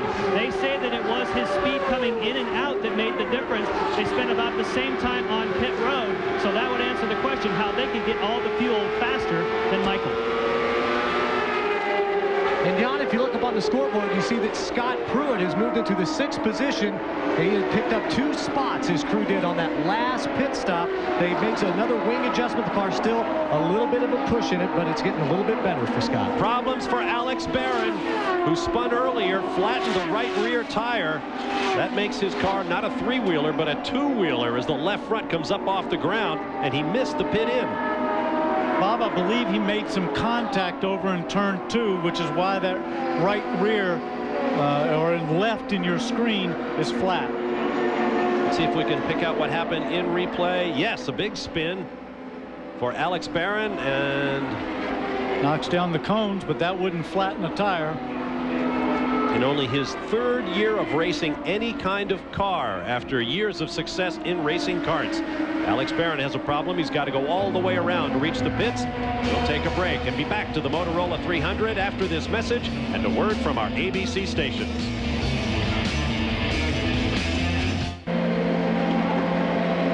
Forty-four laps remaining in round six of the FedEx Championship Series. The Motorola 300. You ride with Jimmy Vasser. Looking back the car of Adrian Fernandez. No, it looks like uh, Christian Fittipaldi back there. Looking back from Alex Zanardi's car at Michael Andretti. Get all the players in their right positions any moment now. Stay in the fast lane online with Jack at the Track, Paul's Pit Stop, and go behind the scenes with Mike Groff's Diary at the Indianapolis 500. ABC Sports Online is on AOL, the keyword ABC Sports. At the Motorola 300, we are ready for a restart after our sixth yellow flag of the day. This one out for a spin and a lip around to the pits for Alex Barron, who has gotten a new Goodyear on his Reynard and is back on the racetrack to Jan Beekhuis. Well, this is good news for Michael Andretti because they were concerned about fuel before this yellow flag. They still feel as though Michael is not going to be able to run as much fuel as he would like, but he'll be able to be fairly racy. So they can make it to the end. They'll have to lean it down just a little bit. So obviously that can really impact your performance towards the end. All right, thank you, gentlemen. Thus far in the race, we have had one hour, one minute of green flag running. We have run one hour and one minute under the yellow as well.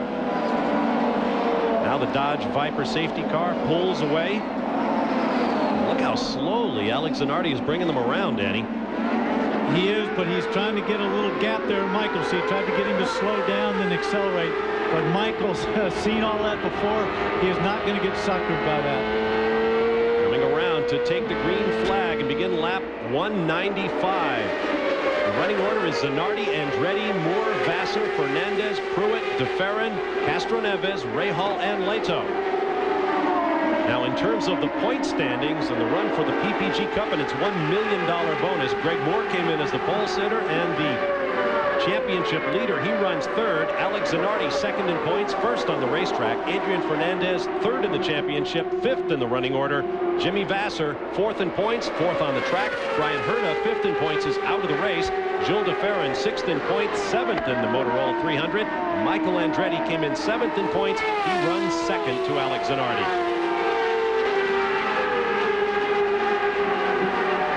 There is Michael.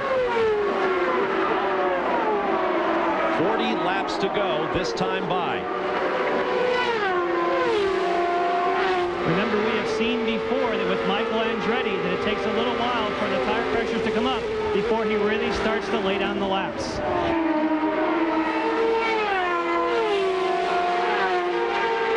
Last time around, Michael, fastest lap, 26.980 seconds. Tenth of a second quicker than Alex Zanardi. Check his line. Well above the white line in turns three and four.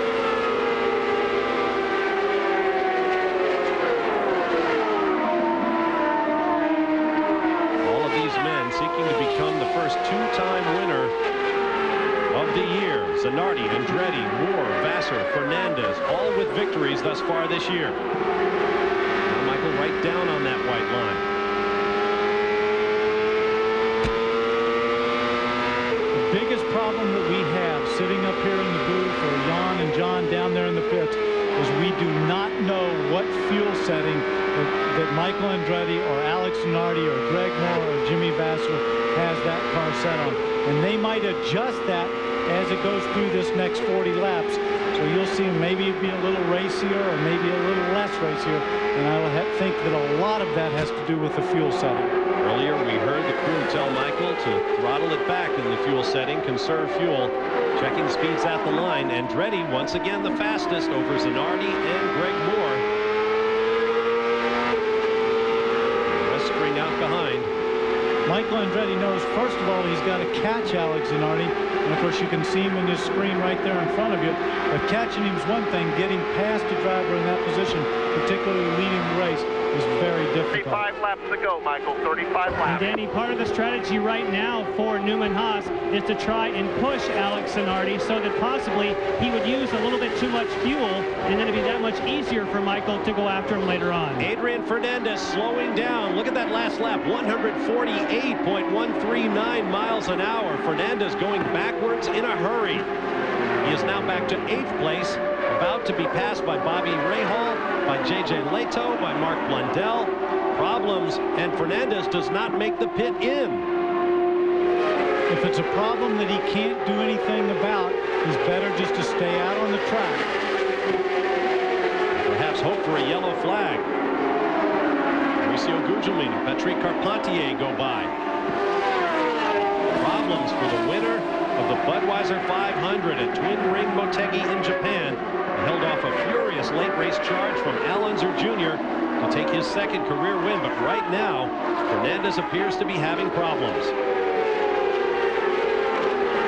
Just got to Adrian Fernandez's pit, and they tell me the motor is going away. That he's just going to stay out there as long as he can. Adrian's motor's gone away, but he has got to pick a better line than he's running right now. You can't get in the middle of the road there. At that speed differential, you are going to cause a problem for somebody. Across the line with a lap of 26.958 seconds. Quickest of the front runners, Alex Zanardi, has 33 laps remaining in the Motorola 300. Each lap in the lead earns $25 toward the St. Jude's Children's Hospital in Memphis, Tennessee, and the Target House being built there to help the families of children being treated at the hospital. $25 a lap, $1,000 for a pole position, $5,000 for a race win. In fact, Target has contributed $1,000 for Alex Zanardi in honor of him reaching the 1,000 laps lead mark, which he did two weeks ago in Rio de Janeiro. Second fastest driver to reach that point. It took him 37 races. Took Bobby Unser 25 races to reach 1,000 laps led. Ride with Michael Andretti, and you see the gap to the leader is getting bigger. 30 laps to go next time by for Alex Zanardi. And Bob, when you're talking about fuel economy, remember we have three engine manufacturers in the top three. Honda for Alex Zanardi, a Ford for Michael Andretti, and a Mercedes for Greg Moore. So a great test of fuel economy here at the end. And remember, it was Honda and Mercedes looked like they had great economy down in Rio. Jan, one of the things that's happening as well, the folks at home are probably saying, well, how do they know how much fuel they're using? They have an onboard computer that's sending signals back to the pits. It tells them exactly how much fuel is being used on each lap, and they can calculate how much to turn it up or down according to that information. An update on Adrian Fernandez. He should be coming into the pits. He's not leaking out any oil. The team thinks it could be an electrical problem, so they're waiting. He should be coming in next time by, and they'll change the black box and uh, do some other little tricks to see if they can get back up to speed. Well, the clock has just struck midnight for Adrian Fernandez. You see the smoke billowing from the back of the car. That motor is finished. But he is well off the racetrack. No sign of yellow from the flag stand.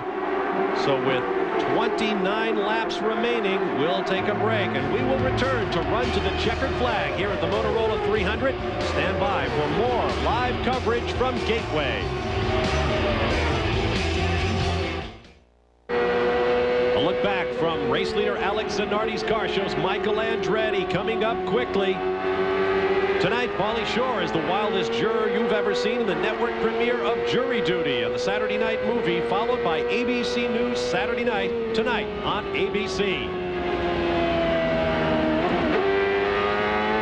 22 laps to go to the checkered flag as Michael Andretti has to make his way around Alex Barron. Jan Beekhuis in the pit lane. They just told Michael Andretti you're okay on fuel, so that's why Michael has got so much more racing. He now can turn up his fuel. He has as much as he needs. He says, you even have a little cushion. Go for it, Michael. And go for it, Michael is doing. Imagine Alex Zanardi two weeks ago in Rio de Janeiro. He looked back and saw Greg Moore coming up quickly when Moore's crew told him he could click it up to full rich and use full power to try to run down the race leader. Moore was able to get it done in traffic in one of the most spectacular passes we've seen. And right now, here is Zanardi. Deja vu all over again, as Yogi might have said with Michael Andretti coming up behind him, another man who is very, very good in traffic. And just in case you're wondering about Alex and his fuel setting, he's full up right now, so Michael obviously has a little bit faster car than Alex. Underneath Robby Gordon goes Michael Andretti, and here comes Greg Moore in the blue car. Moore, the winner two weeks ago in Rio, is in third place, and he is closing on the race leaders. I think everybody got the green light to turn their fuel up. Once they got past a certain point, and they knew they all had enough fuel on the board, they said, go at it. 100%, let's see you go racing. Honda, Ford, Mercedes-Benz, 900 some horsepower under the right foot of each of these drivers. We're going to stay with you all the way to the checkered flag. 19 laps to go as Michael Andretti draws up on race leader Alex Zanardi.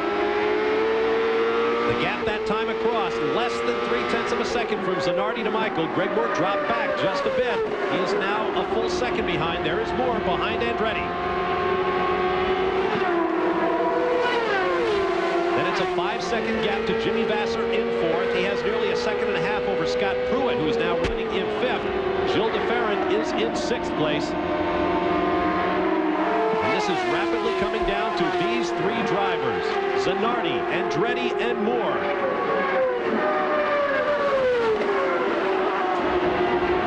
Will this be shades of Rio where we see traffic dictate a little bit of what happens to these leaders and possibly the outcome?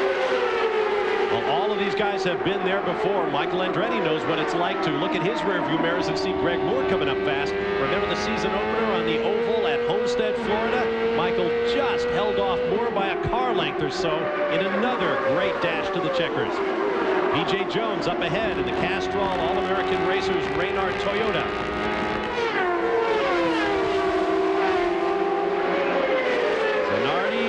Gets around Jones, heading down into one. Michael Andretti, oh, gets there and lights up the left front on the brakes. And you see how hard they are braking there. He locked up a left front. BJ surprised him. He thought he was going to get under them on the inside. He had to lock up with tire going in.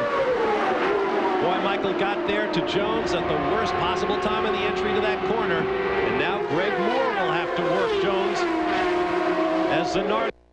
This is a late-breaking weather bulletin from Storm Team 6. Full power, seven-tenths of a second from Zanardi to Andretti.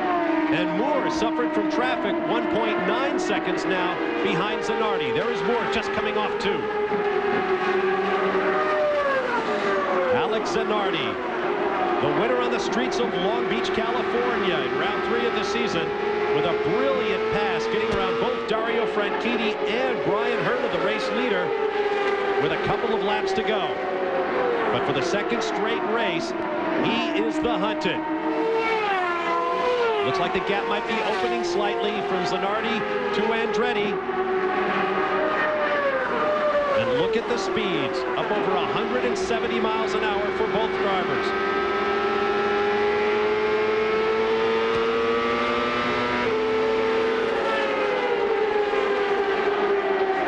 Closing up again, 11 laps to go. There's Fernandez watching from the pit lane.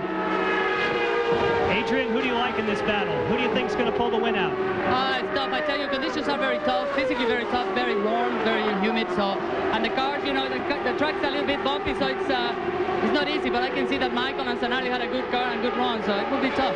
Well, your engine went. Is that the problem? Your engine? Yeah, apparently that was the problem, you know. But Ford has been very good all through the year, but uh, unfortunately this this day wasn't our day. But you know, we run competitive, even though we didn't test here other teams. But you know, we're excited about the championship, and we just have we just have to keep our chin up.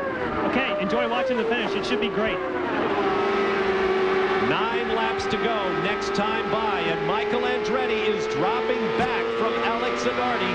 Behind him, Greg Moore also is dropping back. There is Moore just crossing the start-finish line, checking the gaps. 1.2 seconds Zanardi to Andretti, 2.4 seconds Zanardi to Moore in third.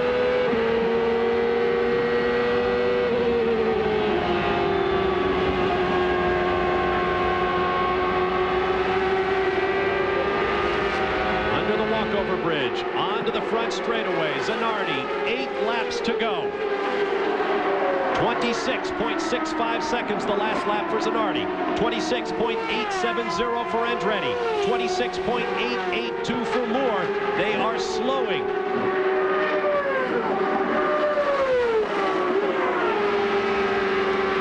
You can be sure that neither Michael Andretti nor Greg Moore are holding back anything at this point. Across the start-finish line one more time. Seven laps to go. 1.5 seconds, the gap from first to second. Adrian Fernandez said it's hot. Everybody's tired out there. These three guys are not tired. Their adrenaline is carrying them. They're pumped up. They are not worried about being fatigued or anything out there. They're just trying to find a way to not make a mistake, but to close that gap on the driver in front of them. Alex Zanardi has to just worry about, I've got to keep this pace going. I cannot make one little mistake. He likes the view in front of him. The track is clean. Nobody's out there. He doesn't have to worry about traffic just at the moment. No obvious sign of problems for Michael Andretti, but the last lap, 26-7 for Zanardi, 26-8 for Andretti, 26-9 for Moore. Alex Zanardi is loving this. He's just going a little bit quicker than Michael, and he's turning those laps, and he's going saying, saying to himself, okay, match that one. Catch me if you can. Faster and faster goes Alex Zanardi with five laps to go. His last lap, 171 miles an hour plus. Michael Andretti could not match it, nor could Greg Moore, who is now shown 3.2 seconds behind Alex Zanardi. Michael right down and under the white line. Zanardi, Andretti, there is more. Four laps to go. Let's check the interval back to the fourth place car of Jimmy Vasser.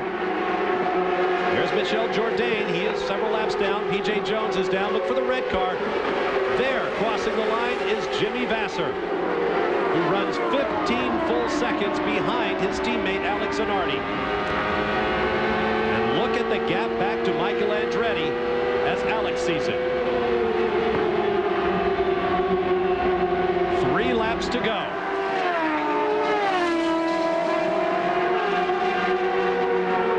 You can see his helmet visor tilted sideways as Alex uses the rearview mirrors on the straightaway to measure Michael Andretti. But the gap is now nearly two full seconds. Mark Blundell, slower traffic ahead of race leader Alex Zanardi with two laps to go.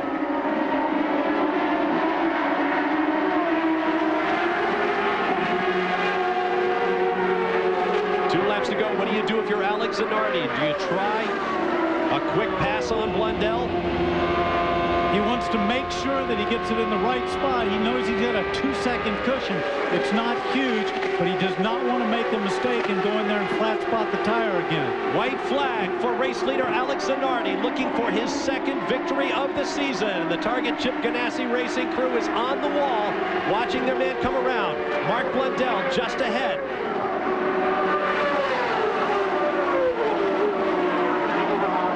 Michael Andretti took a tenth of a second off the gap, and it looks like Alex Zanardi will not try to pass Blundell.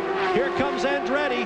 Now Zanardi can pass on the straightaway and take the checkered flag for his 10th career win and second of the season.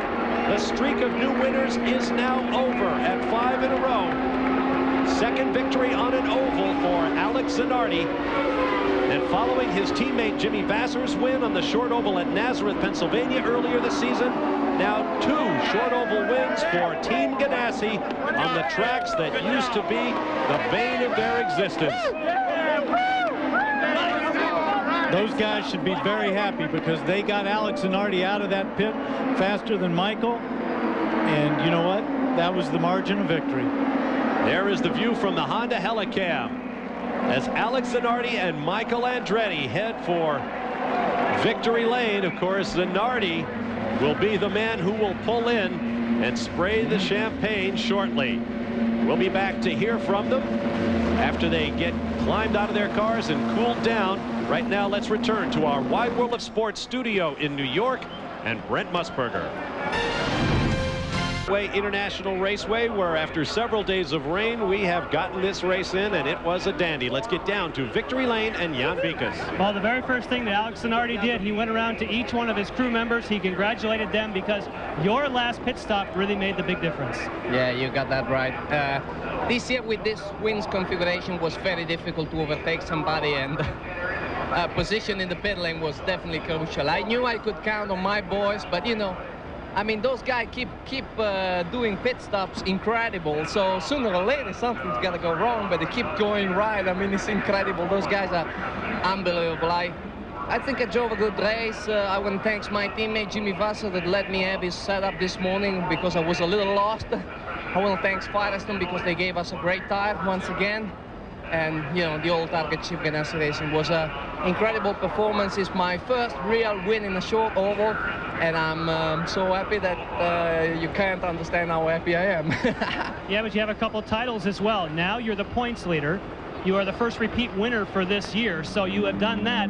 But also in that pit stop, when you look at the stats, it was your in and your out speed that made the big difference. What did you do different?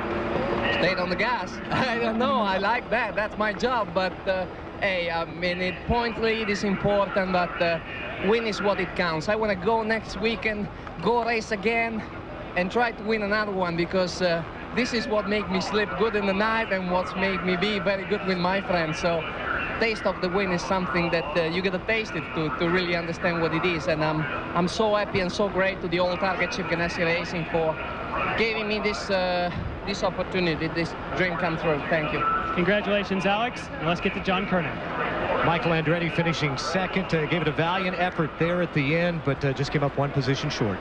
Yeah, what can you do? Um, well, first I want to say hi to my wife, Les, back at home, my two kids, Marco and Marissa, but uh, I'll be home soon. Um, the car was good. Uh, just came down to track position. Uh, we came out of pit second, and at that point I knew it was going to be almost impossible to pass. Uh, the only way you could really pass was in traffic, and we just didn't have enough traffic. We were coming up on it in the end. We needed another 10 laps, and it might have been interesting. But Alex's team was always saying, get the traffic out of the way. So how did your car work in the traffic? That's where my car was working, good in traffic. So uh, I knew that they were a little worried, especially there in the end. I Another lap or two, who knows what would have happened because uh, I caught up about two seconds on him. So uh, you know, but we'll, we'll never know. He did a good job. The crew did a good job. And, uh, you know, we still got some points, finished the race. So. All right, that's Michael Andretti. Let's go to Jan Beekhuis. Well, with a third place finish, which I know is somewhat disappointing, but anytime you get a podium, that's good news. Greg, uh, started from the pole because of your practice times, but then the car wasn't quite where you wanted it. Yeah, I mean, we uh, we, we, had a bit, the car was a little bit too loose right at the beginning there, and that's what allowed Michael, Michael and Alex to get by me. And you know, we improved the car a lot at the end, but with the Speedway wings, it was just uh, pretty much follow the leader. Now, you had a chance at the end. It looked like 30 laps to go or so. They told you you could use all the fuel. All three of you guys were very close, but then what made the difference? Uh, it's really, it's just, you know, once you got into traffic, it's you, you have a bit of an advantage when you're out in front. You know, I had Michael to fall and Alex, and we, when we came up to lap cars, which is a little bit more difficult to get by, but you know, for everyone in the Players Forsythe team, a good job. We didn't test here at all, so they come here and get a third. I think we're pretty pleased. Okay, I know they want you on this truck. They want to take you around so the fans can congratulate Greg Moore, Alex Zanardi, and Michael Andretti. Bob? All right, thanks very much, Jan. Here's a look at the final results of today's Motorola 300. Alex Zanardi, his second win of the season, 10th of his career, fifth win for Firestone, and the third for Honda Engines. Alex Zanardi moves in to the points lead for the PPG Cup. Jimmy Vasser finishes in fourth, followed by Scott Pruett and Gil de Ferran. Castroneves, the top finishing rookie in the field at seven, followed by Bobby Rahal and another rookie, J.J. Lehto. The battle for the Jim Trueman Rookie of the Year award is closing up quickly here in the FedEx Championship Series. Robby Gordon brings his Toyota-powered car home in 13th place, just behind the similar machine of P.J. Jones. A good day for Toyota.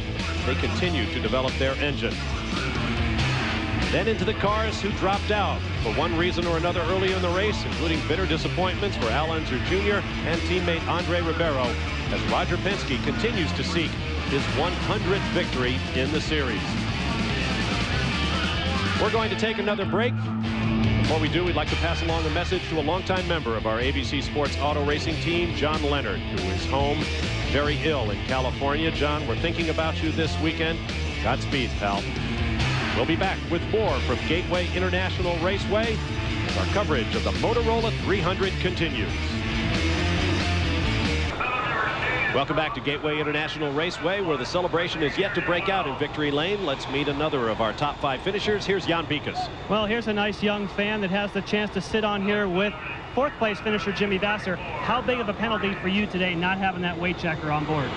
Well, pretty big. I mean, after we were running, uh, I think we ended up with the fastest lap of the race, and after that thing broke right after the first stop, we were really went backwards and couldn't we couldn't uh, balance the car back out. So we had a big understeer, got stuck all the way to the right, and that's racing, racing though. But I'm happy for my teammate Zanardi. And he said thank you for that setup you gave him. He uh, appreciates it. He better appreciate it. John Kernan. Scott Pruett, fifth place finish. Thank great you. run. Right. Thanks. First, I got to say hi to my family at home. Thanks to the Visteon guys. The guys did a great job. You know, we worked our butts off all day long. Firestone had a great tire. And now we're off to Milwaukee. That's Scott Pruett, fifth place, Bob. All right, thanks very much, gentlemen. We'll be on to Milwaukee, Wisconsin next weekend. As our podium finishers continue their lap of honor, let's take a look at the Drivers' Championship. After six of 19 races in the FedEx Championship Series for 1998, Alex Zanardi moves into the points lead by just two over Greg Moore, who remains the only driver in the series to complete every lap of all six races run thus far. Adrian Fernandez dropping out of the race today did his championship hopes no particular good, but things will close up. There is still a long day of racing still to come. In the Manufacturers Championship, Honda picks up another victory, moving into a strong lead over Ford by 10 points. Mercedes with 90 points in third place. Toyota picking up a point today in fourth. And in the Nations Cup competition, which measures the performances of the drivers by country, the United States leads Italy running on the strength of Alex Zanardi and his two victories thus far this year, followed by Canada, Greg Moore there along with Paul Tracy, Brazil, Mexico, and Scotland. Final thoughts, Danny Sullivan? Well, I think the biggest thing that I saw there was Greg Moore, uh, Alex Zanardi, Michael Andretti, three of the best drivers in the series. They showed their class today. They were right there. Adrian Fernandez, as you said, hurt himself a little bit. Good shot in the arm for Scott Pruett. He needed a little bit of that because he struggled most of the most of the season. And I think we're seeing a championship start to shape up here with these guys at the top. You cannot make a mistake, mistake in this championship. You've got to be there every race. Otherwise, you're going to lose out in the end. Now we know our next stop at Milwaukee, Wisconsin on the Wisconsin State Fairgrounds is one of your favorite racetracks. Milwaukee is one of the greatest tracks that we go to. It's so exciting. It's three abreast. It's flat. There's no banking. These guys love this track. We've always seen great races there. We're going to have another good one next week. Be sure to join us next Sunday at 1.30 p.m. Eastern Time, 10.30 a.m. Pacific for the Miller Lite 200 from the Wisconsin State Fairgrounds in Milwaukee, Wisconsin. Coming up next on ABC Sports, it's the LPGA Skins game. The J.C. Penney LPGA Skins coming up next on ABC Sports. We hope you've enjoyed our coverage of the Motorola 300. I'm Bob Varsha for Danny Sullivan, Jan Beekhuis, and John Kernan. Be sure to be with us at Milwaukee as the FedEx Championship Series rolls on. After Milwaukee, we'll be in Detroit, Michigan and then on to the season finale with stops in Australia as well as throughout the United States and Canada. We'll give you a look at some of the highlights of today's race before we bid you adieu on a warm, hazy day to kick off a Memorial Day weekend of racing on ABC Sports and ESPN. Our final Toyota Spotlight of the day, highlights of the Motorola 300.